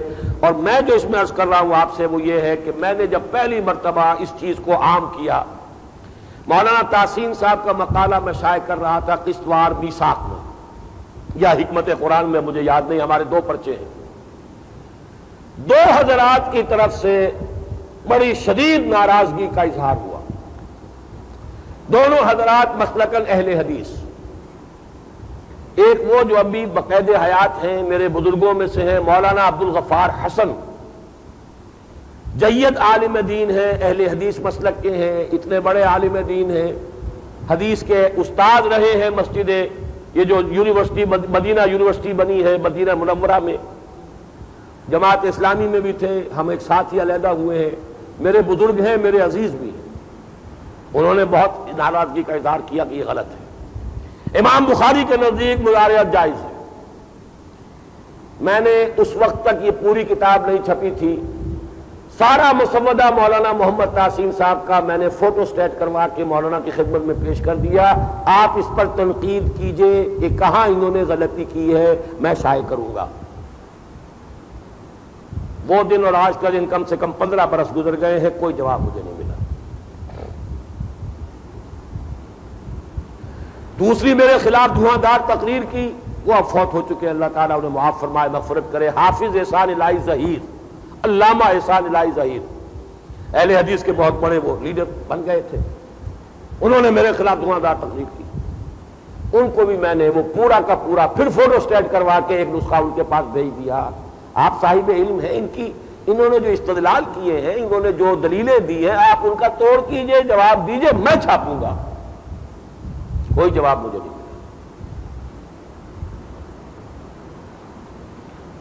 अब ये समझ लीजिए अच्छी तरह कि ये मुजारत का, जवाज का फतवा कब आया है और क्यों आया है। टाइम अब खत्म होने वाला, मैं अपनी बात जल्दी खत्म कर लूँगा। इमाम अबू हनीफा ने कहा, हराम। और इमाम अबू हनीफा ने अब्बासी हुकूमत, उसकी ये ऑफ़र भी रद्द कर दी कि तुम बन जाओ यहाँ के काजी उलकुजात उनका नॉन कोऑपरेशन का मामला था। उनके शागिर्द हैं काजी अबू यूसुफ। उन्होंने कोऑपरेशन की शक्ल इख्तियार की। देखिए, मैं कतन कोई हमला उनकी नीयत पर नहीं कर रहा, ये राय होती है। एक राय ये होती है कि भाई जो हक है वो हमने कहना है, चाहे कुछ भी हो जाए। एक ये होता है कि भाई जो हालात है उसको देखो। इन हालात में जो बेहतर से बेहतर सूरत हो सकती है, उसे निकालो। जिसको आप कहते हैं rule of necessity martial law आ गया, फौज ने आके मार्शल्ला लगा दिया। अब सुप्रीम कोर्ट क्या करेगी? हटा सकती है मार्शल्ला को। जस्टिस कियानी मरहूम का मुझे जुमला हमेशा याद आ जाता है। जब पहला मार्शल्ला लगाया था सदर अयूब साहब ने तो बड़ा हफ्स हो गया था। तो लोग चूँकि नया नया मार्शल्ला मार्शल्ला की हैबत बड़ी थी, कोई बोलता ही नहीं था। तो बड़ी खामोशी थी। तो जस्टिस कियानी ने कुछ फुलझड़ियाँ छोड़नी शुरू की, कुछ लतीफा गोई शुरू की, कुछ मुख्तलिफ़ डिनर्स में इज्तम में जाकर तो कुछ लोगों को बोलने का हौसला हुआ। उन्हीं का एक बड़ा प्यारा जुमला था misfortune never come alone but this time they have come in battalions बदकिस्मती अलहदा तो कभी आती नहीं, अकेली कभी नहीं आया करती। इस दफ़ा वो आई है फौजों की शक्ल में। क्या करें? मार्शल्ला लगा दिया। जब जयाउल साहब ने लगाया, सुप्रीम कोर्ट ने क्या कहा? ठीक है जी, नब्बे दिन में चले जाना। और क्या करें? ताकत कौन सी है? फौज को कौन हटाएगा? वो नब्बे दिन के अंदर उन्होंने पीसीओ बनाया प्रोविजनल कॉन्स्टिट्यूशनल ऑर्डर और जिसने उसके तहत हल्फ नहीं उठाया, वो सारे जज भी खत्म, छुट्टी हो गई। अब क्या करें? जब ये मुलूकियत पूरे तौर पर इसने अपने पंजे गाड़ लिए तो काजी अबू यूसुफ ने यही समझा कि अब जो भी बेहतर से बेहतर शक्ल हो सकती है मुजारत का, अब ये तो करेंगे। ये मेरे फतवे से रुकने वाले तो है नहीं। तो कम से कम मसला ये तो करो कि भाई बीज भी जमींदार दे। कुछ ना कुछ तो जमींदार का भी जो है रिस्क आए। इस तरह कुछ पाबंदियाँ लगाकर उन्होंने जवाब का फतवा दिया है। उस पर फिके हनफी चल रही है। नाम है अबू हनीफा का, फिके हनफी। लेकिन फतवा यह है काजी अबू यूसुफ और इमाम मोहम्मद का। इमाम अबू हनीफा के फतवे के खिलाफ। यह होता है रूल ऑफ़ नेसेसिटी और इसमें किसी पर इल्ज़ाम नहीं आता। क्या करें? मजबूरी है।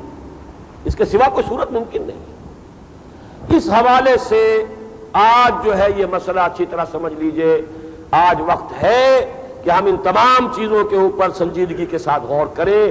अम अरबा, मैं तो हैरान होता हूँ, हमारे फुकाहा जो है तलाक सलासा के मसले में, वही मसला है।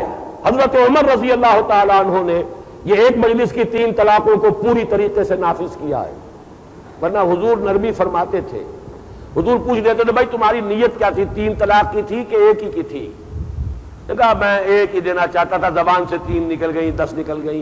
अब कहा अच्छा ठीक है पर एक तलाक है। लोगों ने इसको बहाना बनाकर बीवियों पर रोब गांठने के लिए धौस जमाने के लिए तलाकों का सिलसिला शुरू कर दिया। और कहा, मेरी नीयत एक की थी। हज़रत उमर ने नाफिज किया। आज अम अरबा का इजमा है इस पर कि एक मजलिस में तीन तलाक दे दी जाएँगी तो नाफिज हो जाएँगी। क्यों? इश्तेहाद हज़रत उमर का रज़ी अल्लाह लेकिन इन चीज़ों के ऊपर हमारे असलाफ का यह इजमा, खराजी ज़मीन का मामला, जागीरदारी का मामला, एबसेंटी लैंडलॉर्डिज्म का मामला आइमा अरबा इस पर जमा है। लेकिन यह कि वो साहिबैन के फतवे पर चल रहा है या अहले हदीस के नज़दीक, इमाम बुखारी के नज़दीक चल रहा है तो ये चीज़ें हैं कि जिसको अब ज़रूरत है अच्छी तरीके से छान फटक करने की। मुजारत भी हराम और ज़मीनें भी खराजी उशरी है ही नहीं। खराजी ज़मीन से खराज सीधा बैतुलमाल, कोई जमींदार बीच में नहीं, कोई जागीरदार बीच ये निज़ाम इस मुल्क में कायम होगा तो सारे दिलदर दूर होंगे।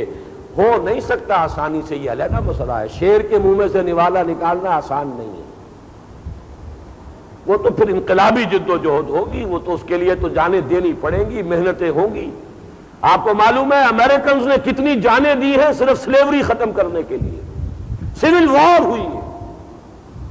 साउदर्न स्टेट्स के लोग जो है, वो स्लेवरी को खत्म करने के लिए अबॉलिश करने के लिए तैयार नहीं थे। जाने दी कि नहीं दी? मलूकियत से निजात पाने के लिए ईरानियों ने कितनी जाने दी?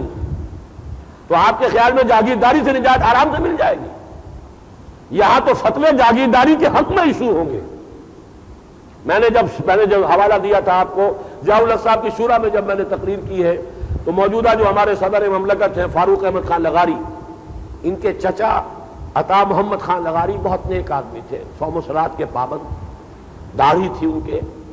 कमिश्नर जब होते थे, तब भी उनकी दयानदारी का, ईमानदारी का चर्चा था बहुत। और उनके बारे में यह था, उनकी बीवी अंग्रेज़ थी, लेकिन खालिश शरीफ पर्दा था उसके यहाँ और जहाँ कहीं भी एज कमिश्नर वो अपनी अदालत लगाता था, कमरे को नहीं देखता था उसका रुख क्या है, अपना रुख जो है, सीधा काबे की तरफ़ रखता था, किबले की तरफ़। ताकि किबला रूह होकर फैसला दे, जो भी देना है। लेकिन ये जमींदारी का मसला जब हुआ है उसी ने आके चूँकि वो भी शूरा में थे, अता मोहम्मद खान लगारी उस वक्त तक ज़िंदा थे, अब तो फौत हो गए, अल्लाह ताला मफरत फरमाए। कह रही आपने क्या कह दिया? हमारा तो जो है, मसलक हनफी है, हनफी मसलक में तो मुदारत हलाल है। मैंने कहा, अब आपको हनफी मसलक याद आ गया, मैं इमाम अबू हनीफा की बात आपको बता रहा हूँ। और उसी का एक और नतीजा भी सुन लीजिए, इन्हीं सदर ममलकत के कजिन है, डॉक्टर जमील खान लगारी। वो इंग्लैंड में है, वो और उनकी अहलिया दोनों वो भी डॉक्टर हैं। दोनों मुझसे बैठ हुए, तंजीम में आए। अनेक लोग हैं। ये हजरात जो है, इनके यहाँ नमाज़ रोज़े की पाबंदी है।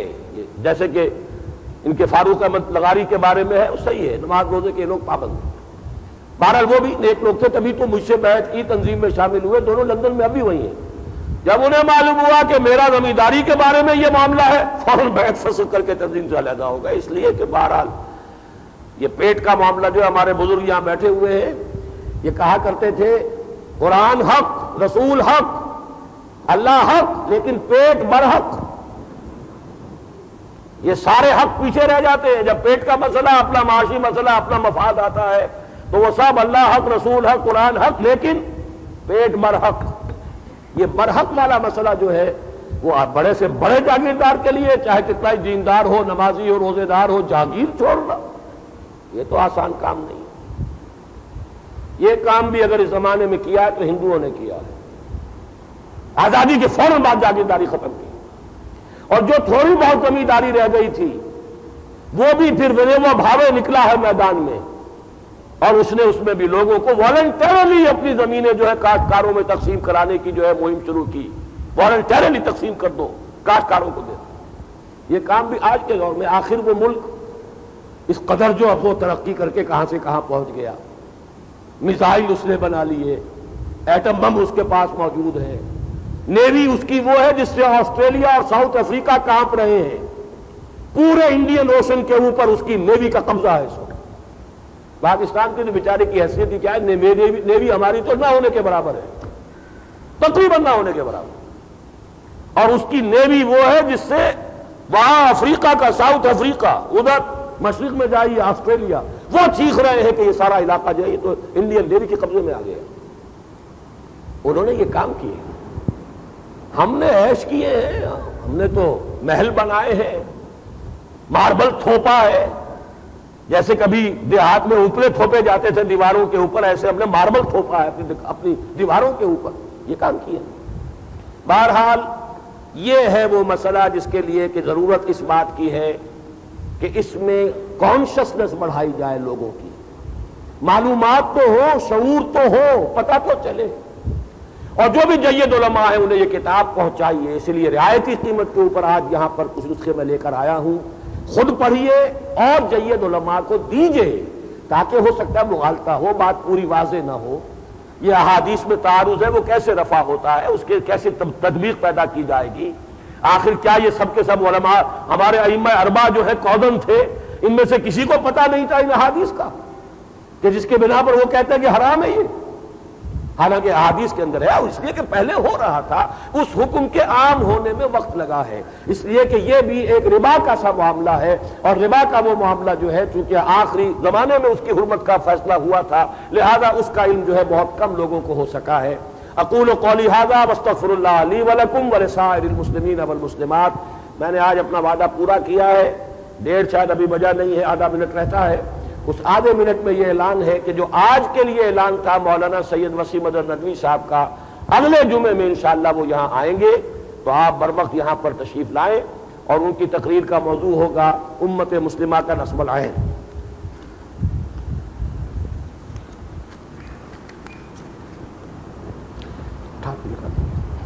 आपको ऐलान कर दें कुछ जी।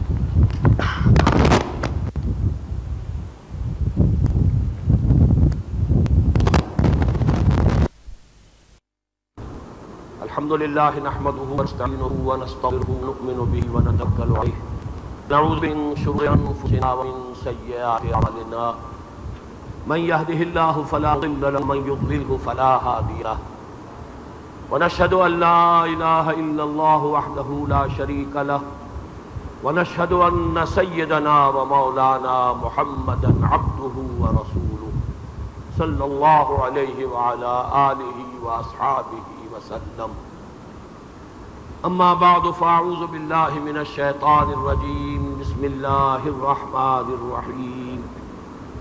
यादीन आमनतक़ल्लाहक़ तुक़ातही वला तमूतुन तुम मुस्लिम यान्नासतक़ू रबकुमल्लदी ख़लकुम मिन नफसिम वाहिदतिम व खलक मिनहा जौजहा वबस मिन हमारिजालन कसीरम वनसा वतकुल्लाजी तसालून बिही वलरहाम इन कान अलैकुम रकीबा यादीन आमनुतकुल्लाह वकूल कौल सबीदा युसलह लकुम आमा लकुम व यकफिर लकुम जुनूबकुम मन युतिल्लाह व रसूलहू फ़कद फ़ाज़ फ़ौज़ सदल्लाहुल वक़ाल नबी सल्लल्लाहु अलैहि वसल्लम, अनकाहु मिन सुन्नती।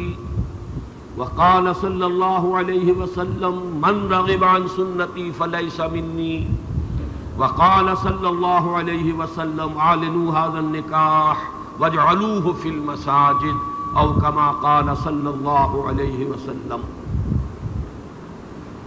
मौजूद हाजरीन मोहतरम ख़वातीन चूँकि आज इस खुतब निकाह की रिकॉर्डिंग हो रही है तो मैं कुछ बातें जो इससे पहले मुतद मरतबा कह चुका हूँ, और बहुत से हजरात आप में ऐसे होंगे कि जिन्होंने इससे पहले भी किसी, इसी तरह की मजलिस निकाह में शिरकत की होगी। उनके लिए ये याद दहानी है, दोहराई है। सबसे पहली बात ये, अभी एक चिट्ठी आई थी कि ये इस तर्ज पर निकाह करने का फ़ायदा क्या है, इस पर आप इजहार ख्याल करें। असल मसला ये है कि शादी ब्याह की तकरीबात के ज़िमन में हमारे यहाँ जो खराबियाँ पैदा हो रही हैं पहले तो इसराफ ज़रूरत से ज़्यादा पैसा सर्फ करना इसके बारे में भी कुरान मजीद में मजम्मत है। अल्लाह ताला को इसराफ करने वाले पसंद नहीं इससे ज़्यादा बड़ी एक बुराई है और वो है तबजीर। तबजीर है इसराफ तो कहते हैं कि ज़रूरत की जगह पर ज़रूरत से ज़्यादा खर्च करना गज़ा ज़रूरत है। लेकिन जितने में वो इंसान की ज़रूरत पूरी हो जाए, उससे ज़्यादा उस पर खर्च करना। कई कई कोर्सेज के डिनर्स हों, बजाय एक साधन रोटी के। अब ये इसराफ हो रहा है। कपड़े पहनना ज़रूरत है, लेकिन पूरे पूरे वार्ड रोज भर के रख देना।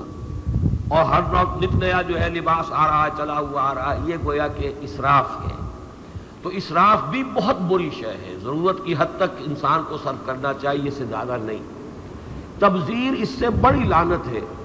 और वो ये कि जहाँ कोई ज़रूरत नहीं, ज़रूरत के बगैर खर्च करना। नाम नमूद के लिए, दौलत के इजहार के लिए ये तबजीर है।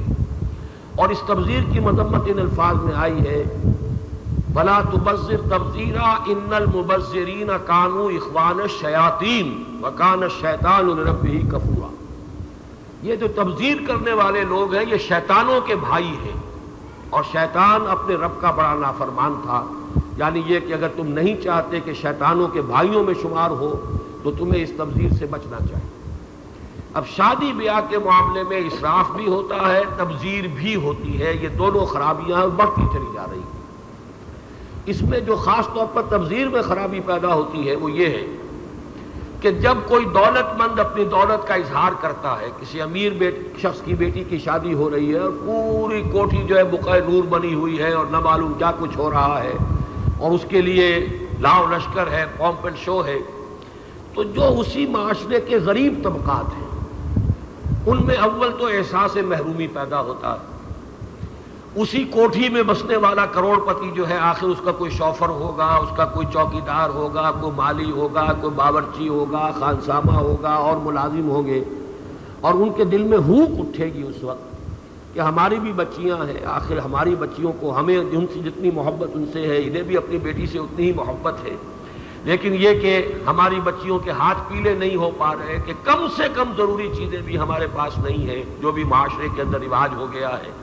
लिहाजा इससे जो एहसास महरूमी पैदा होता है, वो माशरे में तबकाती तकसीम पैदा कर देता है। और हैव नॉट्स फिर लाख मौलवी कहते रहे, तमाम मुसलमान भाई भाई है, वो कहेगा, कैसा भाई है? ये भाई है मेरा। जिसकी बेटी के ऊपर ये लाखों रुपए खर्च हो रहे हैं शादी के ऊपर, मैं उसका भाई हूँ कि मेरी बेटी जो है उसके हाथ पीले नहीं हो सकते। सिर्फ़ इसलिए कि कम से कम ज़रूरी चीज़ें भी मैं मुहैया नहीं कर सकता। कौन सा भाईचारा है? वो भाईचारा फिर खत्म हो जाता है। और इस दर्जे हमें इसकी ताकीद हजूर ने फरमाई है कि अगर तुम अपने बच्चों के लिए फल लेकर आओ तो या तो पड़ोस में भी भेजो।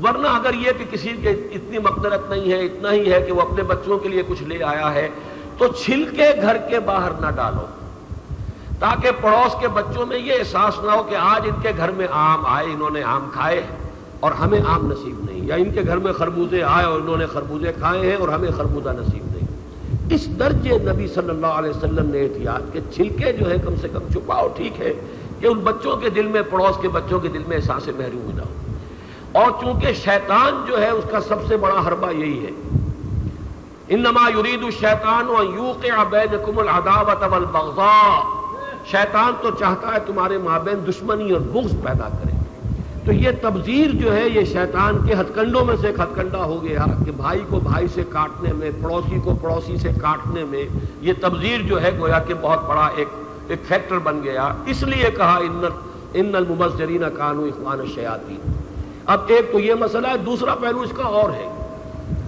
जिस गरीब आदमी के दो बच्चियाँ, तीन बच्चियाँ, चार बच्चियाँ, पाँच बच्चियाँ हो गए उस पर तो क्यामत टूट पड़ी ना। उसे मालूम है मुझे बच्चियों के हाथ पीले करने हैं। हलाल से अगर मेरे जराए नहीं है तो वो हराम में मुँह मारेगा, चोरी करेगा, डाका डालेगा, कुछ और करेगा, रिश्वत लेगा, और करेगा, जो करेगा। इसलिए कि माशरे में लेवल्स वो बन गए हैं कि ना नौमन तेल हो, ना राधा नाचे। तो नौमन तेल अगर सीधे हाथों नहीं फराम हो सकता तो टेढ़ी उंगलियों से निकालेगा वो। हर एतबार से जैसे दोधारी तलवार कहा जाता है, ये इसराब और तफजीर जो है, ये दोधारी तलवार की हैसियत से माशरे को काट रहा है। यही वजह है कि बहुत अरसे से लोगों में एहसास है कि इसकी इसलाह होनी चाहिए, कोई कोई शक्ल होनी चाहिए, कोई कोशिश होनी चाहिए, सादगी इख्तियार की जाए। लेकिन सारे वास इसलिए नाकाम हो गए कि सादगी किस बला का नाम है, किस चिड़िया का नाम है, कोई डिफाइन कर ही नहीं सकता। एक झोंपड़ी वाले की सादगी है एक लखपति की सादगी है, एक करोड़पति की सादगी है। सादगी किसको कहेंगे आप? ये तो बिल्कुल एक रिलेटिव टर्म है, एतबारी इतलाह है। ये आर्बिट्रेरी सी एक असलाह है, सादगी का कोई मफहूम है ही नहीं। फिर ये कि कानून नाफिज किए गए, बारात में इससे ज़्यादा आदमी ना हो और फला उसमें वलीमे में इतने ज़्यादा ना हो। अव्वल तो यह कि जिन्होंने ऑर्डिनेंस नाफिज किए, खुद उन्होंने तोड़ा। जियाउल साहब उन शादियों में भी शरीक हुए, जहाँ दस दस हज़ार मेहमान थे। इसलिए कि वो उनकी सियासी ज़रूरत थी, उसके बगैर उनका धंधा चलता नहीं था। अब वो ऑर्डिनेंस तो नाफिज हो गया फ़ायदा सिर्फ़ यह हुआ कि पुलिस वालों को कमाई का एक और खाता मिल गया। चले गए, अगर अगर तो हथेली जो है वो पूरी तरह नरम कर दी गई तो ठीक है, वो चश्मकोशी हो जाएगी, सरफ नज़र हो जाएगा, गजे बसर हो जाएगा, नहीं तो वो टेगे उठा के ले जाएँगे। वो सिवाय इसके कि और जुल्म और ज्यादती का एक ज़रिया जो है वो पुलिस वालों के हाथ में आ गया, उसका कोई फ़ायदा नहीं। इस पर जितना गौर किया, नतीजा ये निकला कि इसमें एक ही रास्ता इसलाह का है। और वो ये है कि पूरी बारीक बीनी के साथ देखें कि शादियाँ हुजूर के जमाने में और साहबा के जमाने में कैसे होती थी। क्या तकरीबात है जो मसनून है? उनको किया जाए जो इजाफी तक तकरीब है, कोई रस्म है। पूरी बहबूब बेरहमी के साथ उसको काट कर फेंक दिया जाए, ये हमारे हिंदुआना माशरे की कोई पैदावार होगी। हम में से अक्सर लोग भी थे ना, हमारे आबाव अजदाद को पाँच पीढ़ियों पहले कोई दस पीढ़ियों पहले, कोई पंद्रह पीढ़ी पहले इस्लाम लाए तो वो रसूमात हमारी चली आ रही है। वो रसूमात और भी शक्लों में आई है। तीजा होता था, उनके यहाँ हमने स्वयं शुरू कर दिया। स्वयं से आगे कुरान खानी शुरू कर दी, वो तो घुट्टी में तो तीजा पड़ा हुआ है, वो तीजा चल रहा है जो भी चल रहा है। बाकी नाम उसका आप मुशर्रफ इस्लाम कर ले, कोई सा नाम उसका रख दे, लेकिन हकीकत में वो तीजा है। इसी तरीके से ये सारी लानतें जो हिंदू माशरे की थी, वो हमारे यहाँ रसूम के अंदर, रिवाज के अंदर चली आ रही है। एक वो लानतें, एक अंग्रेज़ी माशरत ने आकर मजीद लानतें पैदा कर दी। इन दोनों लानतों का बर्थडे हो रहा है, ये कौन सी लानत है? ये हिंदुओं का भी नहीं है, ये अंग्रेज़ों की लाई हुई सौगात है। तो तरह तरह की तकरीबात जो हमारे यहाँ बना ली गई है और वो दौलतमंदों के तो चोचले हैं, उनके पास फाजिल दौलत है और अक्सर और बेशतर हराम की दौलत है। तो माले हराम बूद बराए, हराम बराए, हराम रफ्त, वो तो जो माल जो आई है, हराम से आई है, हराम में जाएगी, बजाय हराम रफ्त। उसकी वजह से माशरे में जो खराबियाँ पैदा हो रही हैं तो इसलाह का सिर्फ़ एक रास्ता है। ये देखो, माँ आना अलह वासहाबी जो तकरीबात होती थी हुजूर के जमाने में, बस वो हो, उससे ज़ाहिर हो। इसका जब जायजा लिया तो नंबर एक बात ये सामने आई। शादी में दावत सिर्फ़ एक है और वो वलीमा है। और वो मंतकी तौर पर है कि लड़के वाले का घर आबाद हुआ है, खुशी वहाँ है। लड़की वाले के घर में खुशी नहीं होती। घर से लड़की जा रही है। कितना भी एहतमाम कर लिया हो आपने कि देख लिया, देखभाल कर ली, मिजाजों की मुआफ़त ये, वो, फिर भी अंदेशा रहता है, बेल मंडे चढ़े मिजाजों की मुआफ़त हो न हो। लिहाजा, अब खुशी की बात नहीं होती, ये ज़रूर होता है कि एक सेंस ऑफ़ रिलीफ जिसे कहें, एक साई ऑफ़ रिलीफ कि भाई एक फ़र्ज़ था, आज अदा हो गया, बच्ची जो है, वो ब्याह कर जा रही है। ये तो हो सकता, खुशी नहीं हो सकती। माओ को बेहोशी के दौरे पड़े होते हैं, बहन भाई रो रहे होते हैं। मैंने खुद पाँच बेटियाँ रुखसत की अपने घर से। हर मरतबा आँखों में आँसू आ जाते हैं। आज बच्ची जो है घर से निकल रही है। अभी चूँकि ईद कुर्बान गई है, कोई बकरा अगर रहे चार, छह दिन घर में तो बच्चे रोते हैं जब उसको दिवा किया जाए। कि वो यहाँ से अब उसको दिवा कर देगा, इसलिए उससे मोहब्बत हो गई है। तो जो बीस बरस, पच्चीस बरस, बाईस बरस घर के अंदर रही है, जिगर का टुकड़ा है, वो जा रहा तो उनके लिए खुशी नहीं है। एक ज़िम्मेदारी है जो अदा कर रहे हैं। तो खुशी है असल में दूल्हा के वहाँ वलीमे की दावत है, वो करो भाई और अपने दोस्तों को बुलाओ, अपने अकरबा को शरीक करो। उसकी इतनी ताकीद की हदीस की किताबों में बाबुल वलीमा पूरा बाब है। वलीमा ज़रूर करो। वलाओ बेशातिन, चाहे एक ही बकरी हो तुम्हारे पास। अब ये चूँकि अरब में उनका तो शाह भेड़े बकरियाँ पालना। लिहाजा वो एक बकरी तो बहुत ही मामूली बात हुई ना तो आज तो हर एक बकरी भी काफ़ी कीमती शय हो गई है, लेकिन वहाँ वो एक बकरी क्या हकीकत? मैं एक ही बकरी है, चलो उसी को जिबा करो, उसका गोश्त खिला दो लेकिन वलीमा ज़रूर करो। यह भी फरमाया कि वलीमे की दावत बुरी दावत है। बेसताम तामुल वलीमा। क्यों? कि उसमें गरीबों को नहीं बुलाया जाता? ज़ाहिर बात है, मिस्कीन खिलाने के लिए तो वलीमा नहीं है। मुसल्ली खिलाने के लिए वलीमा नहीं है।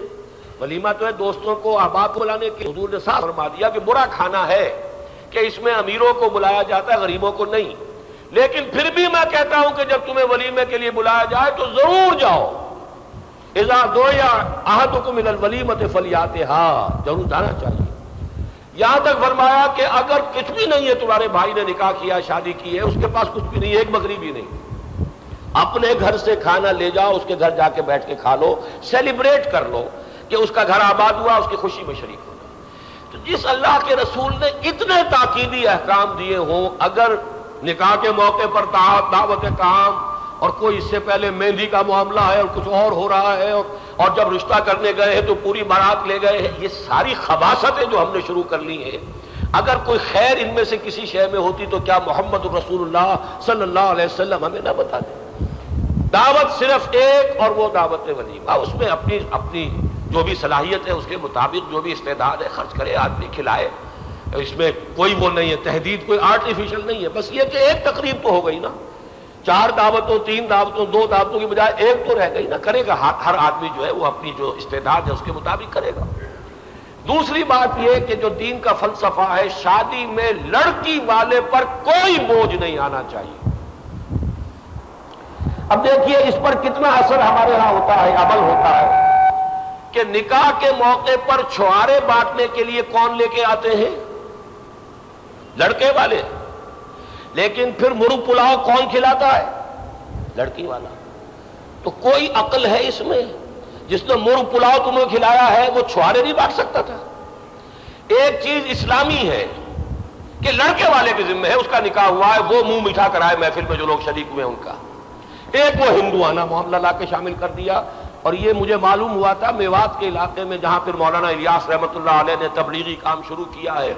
वहाँ चूँकि अक्सर व बेशतर मुसलमान जो थे म्यो वो उनके कोई बुज़ुर्ग कभी ईमान ले आए, तालीम वगैरह हुई नहीं।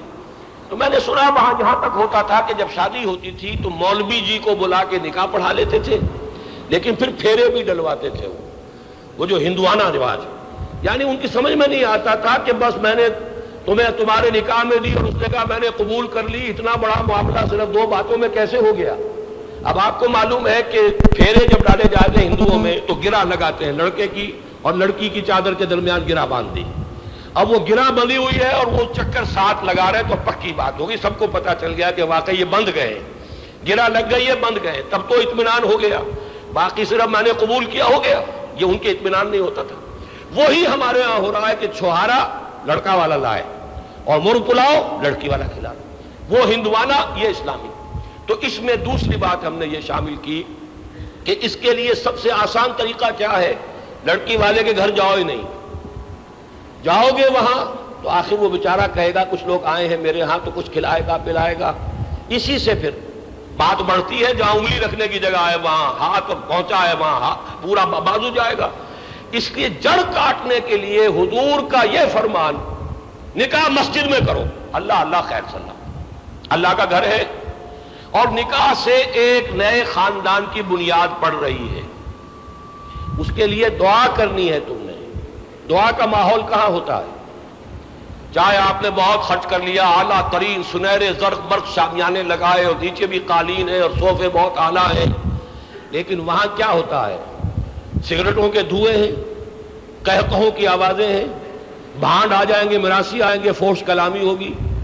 ये हो रहा होगा और मिन मिन मिन मिन करके कोई मौलवी साहब निकाह पढ़ाएँगे, पता ही नहीं चलेगा क्या पढ़ा, क्या नहीं पढ़ा।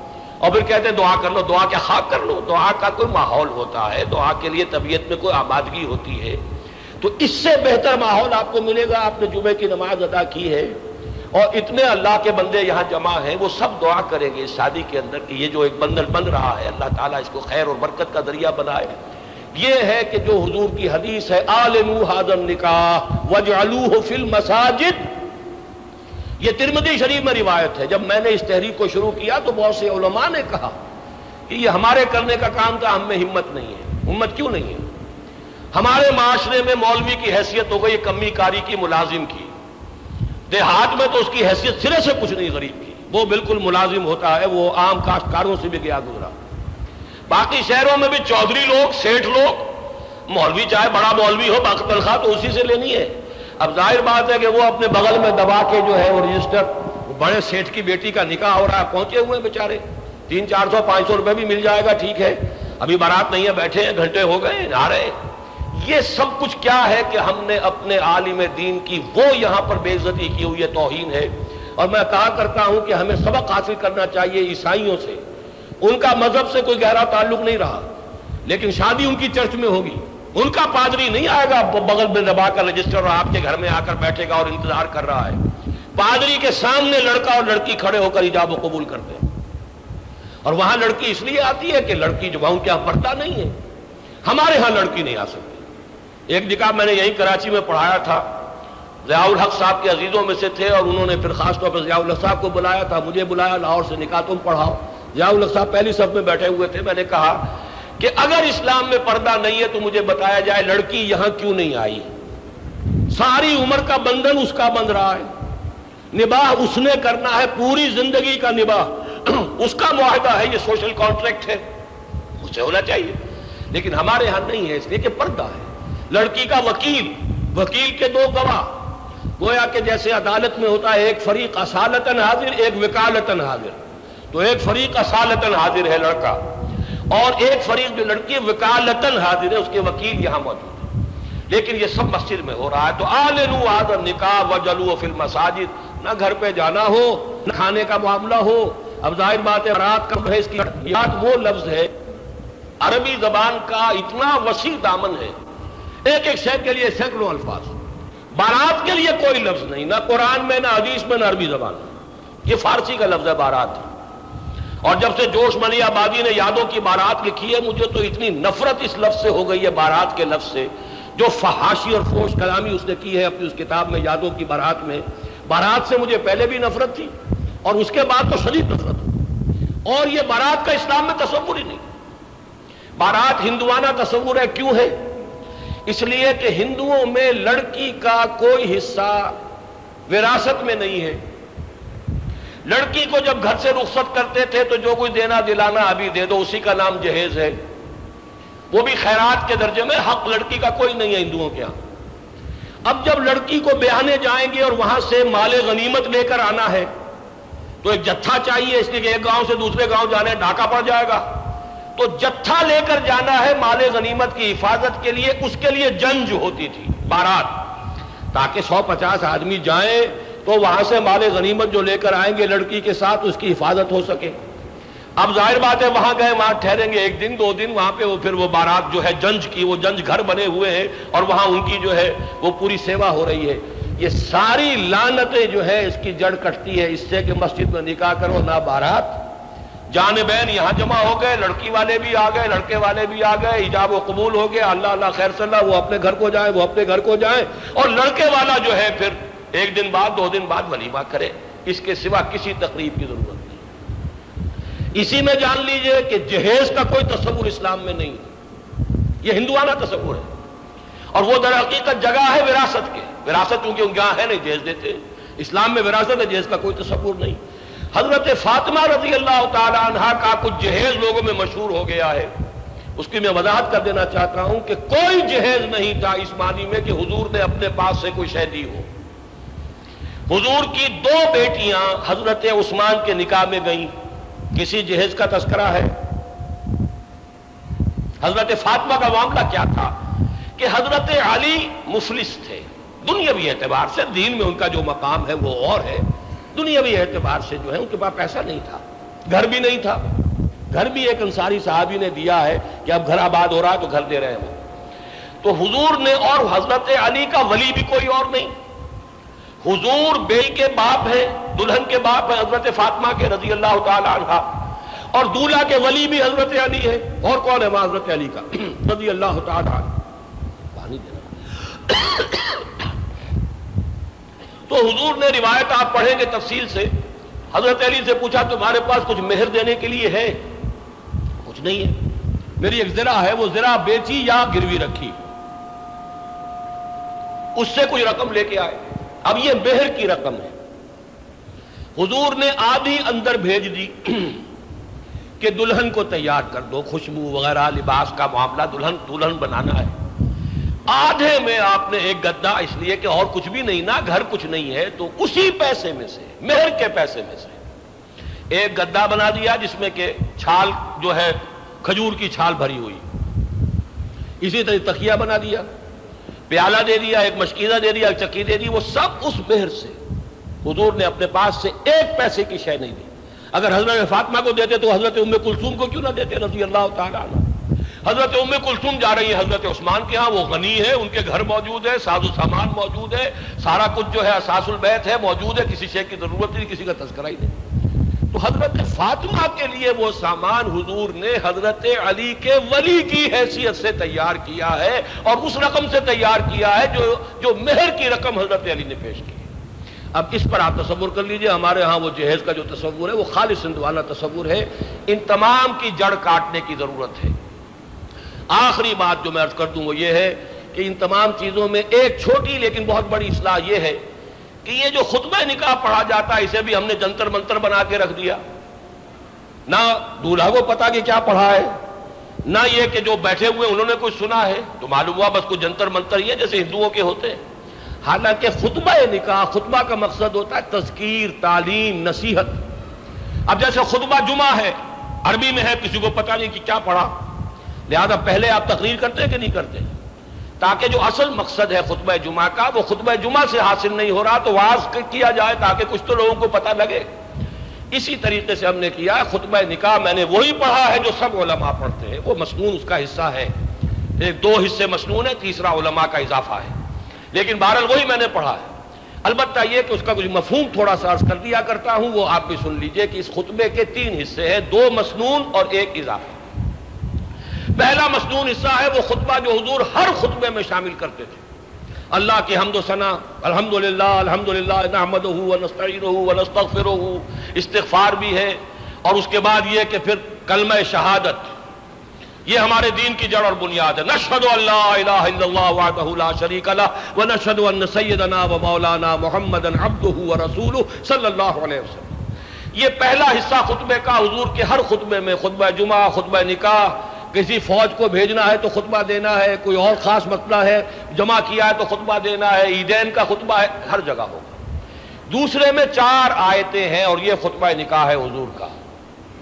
पहली आयत सूरह आल इमरान की आयत नंबर 102 दूसरी आयत सूरह निसा की पहली आयत। तीसरी और चौथी सूरह अहजाब के आखिरी रुकू की दो आयतें। बस खत्म। हुजूर की तालीम और तलकीन सिर्फ़ कुरान से होती थी। लेकिन हुजूर की जबान अरबी, सुनने वालों की जबान अरबी, बस काफ़ी है, कुरान सुना दिया। वो तो यह कि हुजूर की लिसान मुबारक से अल्लाह का कलाम अदा हुआ और लोगों के दिलों पे और जहनों में जाके बैठ गया।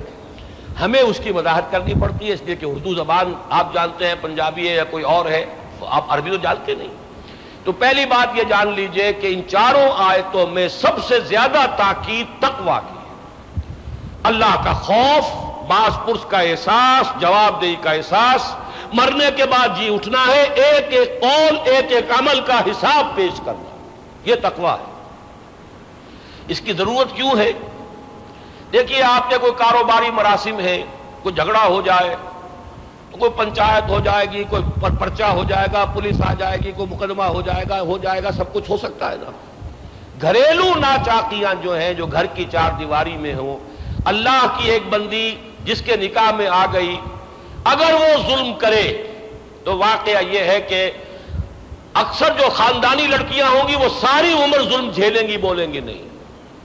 कोई हमारे यहाँ जो खानदानी लड़की है, वो अदालत की चौखट पे जाने को तैयार नहीं होती, चाहे जुल्म कितना भी होगा। और जुल्म होता है, इसमें कोई शक नहीं। लिहाजा यहाँ सबसे ज़्यादा ज़रूरत है तकवा की। अल्लाह पर यकीन हो, और फिर जानबैन में तकवा मौजूद हो। शोहर में भी तकवा हो, उसे एहसास हो कि मैं जो कुछ कहूँगा, इसका भी जवाब देना है। और जो कुछ मैं करूँगा, उसका भी हिसाब देना है।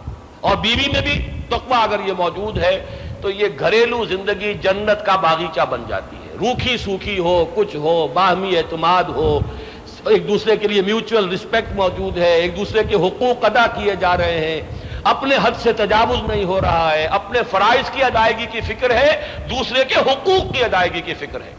हमारे यहाँ उल्टा हो गया है। अपने हकूक की फ़िक्र होती है। और दूसरे के फराइज याद रहते हैं। इसका फ़र्ज़ यह था, इसने अदा नहीं किया। मोहुद्दीन कादरी साहब के बच्चे उनका इंतज़ार कर रहे हैं। उनकी खातन किसी तकलीफ़ में है। अपनी गाड़ी के पास पहुँच जाए मोहुद्दीन कादरी साहब। तो मैं यह कर रहा था। क्या कह रहा था? ये गड़बड़ हो जाती है। तकवा अगर है, मर्द में और औरत में तो घरेलू ज़िंदगी जन्नत का नमूना, चाहे रूखी सूखी और अगर यह नहीं है, लड़ते भिड़ते जिंदगियाँ गुजरी जाती हैं, फिर औलाद की परवरिश उस माहौल में होती है अगर तो नेगेटिव चीज़ें उनमें परवान चढ़ती हैं, फिर फिर मुस्बत किरदार वजूद में नहीं आ सकता। लिहाजा अगर माशरे में आप चाहते हैं कि खुदा तरसी पैदा हो तो पहले घर में खुदा तरसी होनी चाहिए। यह वजह है कि इसमें हुजूर ने वो चार आयतें जमा की हैं जो तकवा की ताकीद पर कुरान मजीद की सबसे ज़्यादा गाढ़ी आयतें का तो ईमान, अल्लाह का तकवा इख्तियार करो जितना कि उसके तकवा का हक है। साहबा काँप गए। अल्लाह का हक कौन अदा कर सकता है? फिर आयत उतरी सूरह तगाबुल में फतकुल्ला मस्तता तुम जितना इम्कान में है तकवा इख्तियार करो। तब उनके जान में जान आई।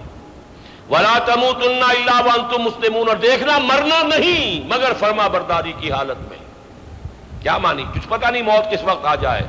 अगर नाफरमानी कर रहे हो, कोई शराब पी रहा और मौत आ गई, ये मौत कैसी हुई? नाफरमानी की हालत में मौत ना आने पाए, और मौत का कुछ पता नहीं तो क्या मानी? कोई लम्हा नाफरमानी में ना बसर करो, यही तकवा है। फूक फूक कर कदम रखो। दूसरी आयत सूरह निसा की पहली आयत जो मौजू तरीन है इस मौजू पर। यानासतकू रबकुम मैं लोगों, अपने रब का तकवा इख्तियार करो। अल्लाह खलकुम मिन नफ्सिन वाहिदतिन। जिसने तुम्हें एक जान से बनाया, वह खलक मिनहा जौजहा, उसी से उसका जोड़ा बनाया। वह बसमिन हुमा रिजालन कसीरम व निसा और उन दोनों से कसीर तादाद में मर्दों और औरतों को ज़मीन में फैला दिया। आदम और हवा की नस्ल हम सब हैं। आज आदम का एक बेटा हवा की एक बेटी जो नीचे मौजूद है, आज फिर वही रिश्ता जो आदम और हवा का था, इनके माबैन हो रहा है।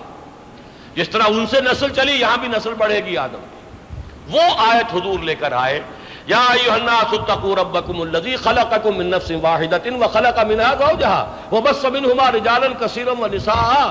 और फिर दोबारा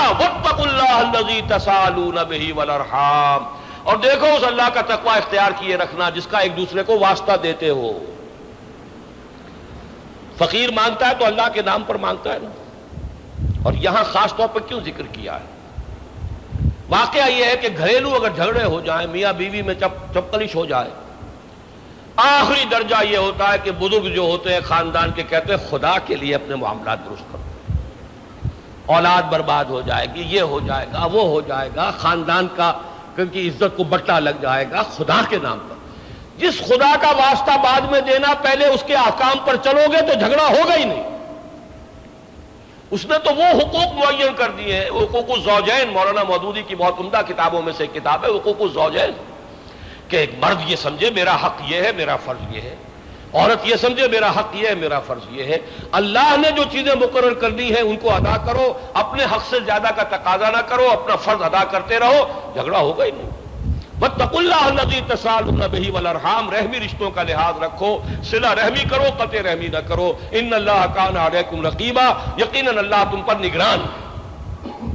इसके बाद दो आयतें सूरह ahzab की हैं। या युहल्लजीन आमनुत्तकुल्लाह देखिए हुजूर का इंतखाब, फिर वही।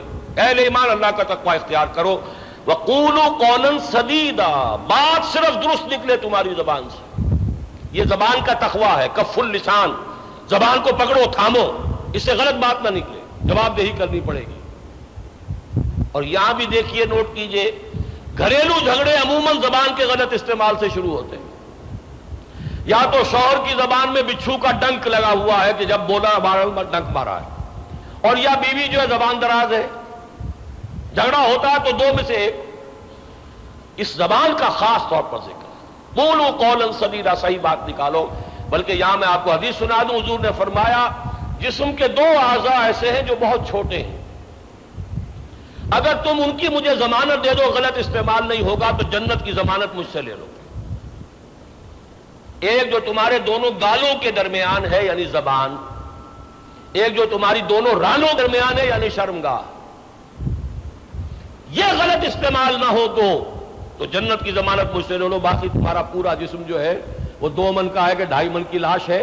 उस सब का हिसाब जो है, उसका जिम्मा मैं लेता हूँ। अगर तुम दो आजा को काबू में कर लो कि इससे कोई गलत बात नहीं होगी, गलत काम नहीं होगी। यह है वो दूसरा मसला। कूलू कौरन सदीदा, अगर ये करोगे, युसले लकुम अमालकुम अल्लाह तुम्हारे सारे अमाल दुरुस्त कर देगा। वही अक्सर लकुम जुनूबकुम, तुम्हारी खता हो जाएगी तो बख्श भी देगा। हर शख्स से कभी कोई ना कोई खता हो जाती है। रसूल फ़कत फ़ाद फ़ौजन अजीमा। और जो अल्लाह उसके रसूल की इतात पर कबंद हो गया, उसने तो बहुत बड़ी कामयाबी हासिल कर ली। यहाँ हुजूर का खुतबा खत्म। अब है ओलमा के इजाफे। एक हदीस का इजाफा किया, अन निकाह मिन सुन्नति। निकाह मेरी सुन्नत है। सही किया इजाफा। क्यों कहने की ज़रूरत पेश आई? एक हदीस का टुकड़ा है, मन रगे बान सुन्नति, फलैसा मिन्नी। जो मेरी सुन्नत से एराज करेगा, जिसे मेरी सुन्नत पसंद नहीं होगी, उसका मुझसे कोई ताल्लुक नहीं। बना फिरे बड़ा आशिक रसूल, अपने ख्याल में आशिक रसूल, लंबी लंबी, ऊँची ऊँची लहरों में नहाते पढ़ता रहे, मेरी सुन्नत इख्तियार नहीं करेगा तो उसका मुझसे कोई ताल्लुक नहीं। यह खास तौर पर इसको निकाह कितने क्यों लाए पहले तो लफ्जी निकाह का निकाह मिन सुन्नति, इसलिए कि दुनिया में यह तस्वुर रहा है तमाम मशरक मगरब में, तमाम मजाहिब में। कि शादी करना घटिया काम है तजर्रुद की ज़िंदगी, ब्रह्मचर्या होना चाहिए। साधु है हिंदू, शादी नहीं करता। जैन मत का भिक्षु है, शादी नहीं करेगा। बुद्ध मत का भिक्षु है, शादी नहीं करेगा।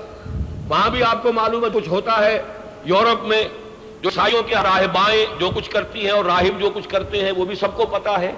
लेकिन बजाहिर ये कि शादी नहीं करनी। गोया कि शादी करना घटिया काम है।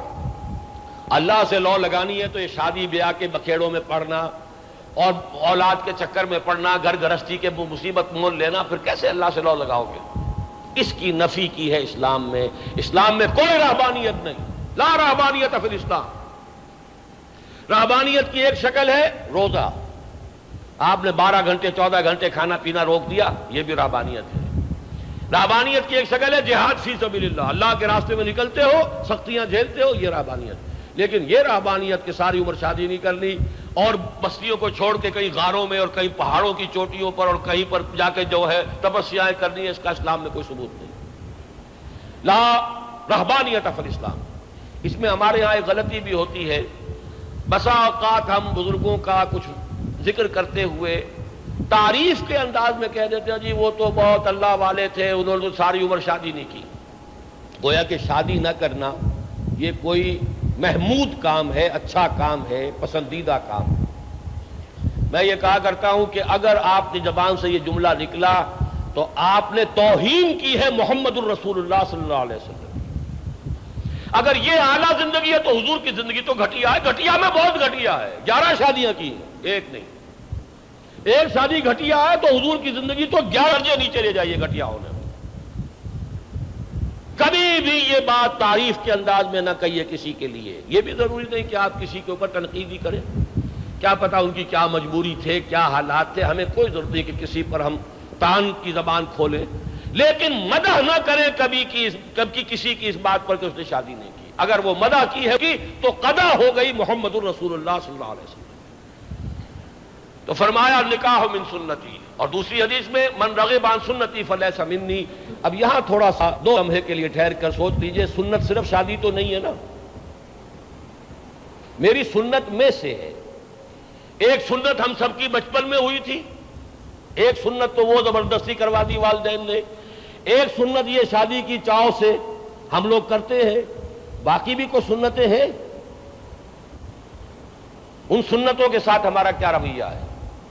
कोई वजाकता की भी कोई सुन्नत है हजूर की? शक्ल सूरत के सिलसिले में भी कोई सुन्नत है? रहन सहन की भी कोई सुन्नत है या नहीं? सुन्नत नाम है पूरी ज़िंदगी में हुजूर के नक्शे कदम पर चलने का।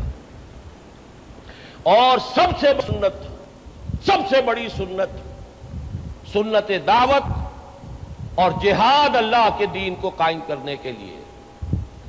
आपने तेईस बरस क्या काम किया है? जैसे वही शुरू हुई, उस वक्त से लेकर और इस हयात दुनियावी के आखिरी सांस तक कारोबार किया। कारोबार पहले कर लिया जो कर लिया। चालीस बरस से पहले पहले कर लिया जो कर लिया। उसके बाद कोई कारोबार किया। मैं हराम नहीं कहता कारोबार करने को कहीं इसमें चल जाए। लेकिन जिस शे को आप कहते सुन्नत पे अमल करना है।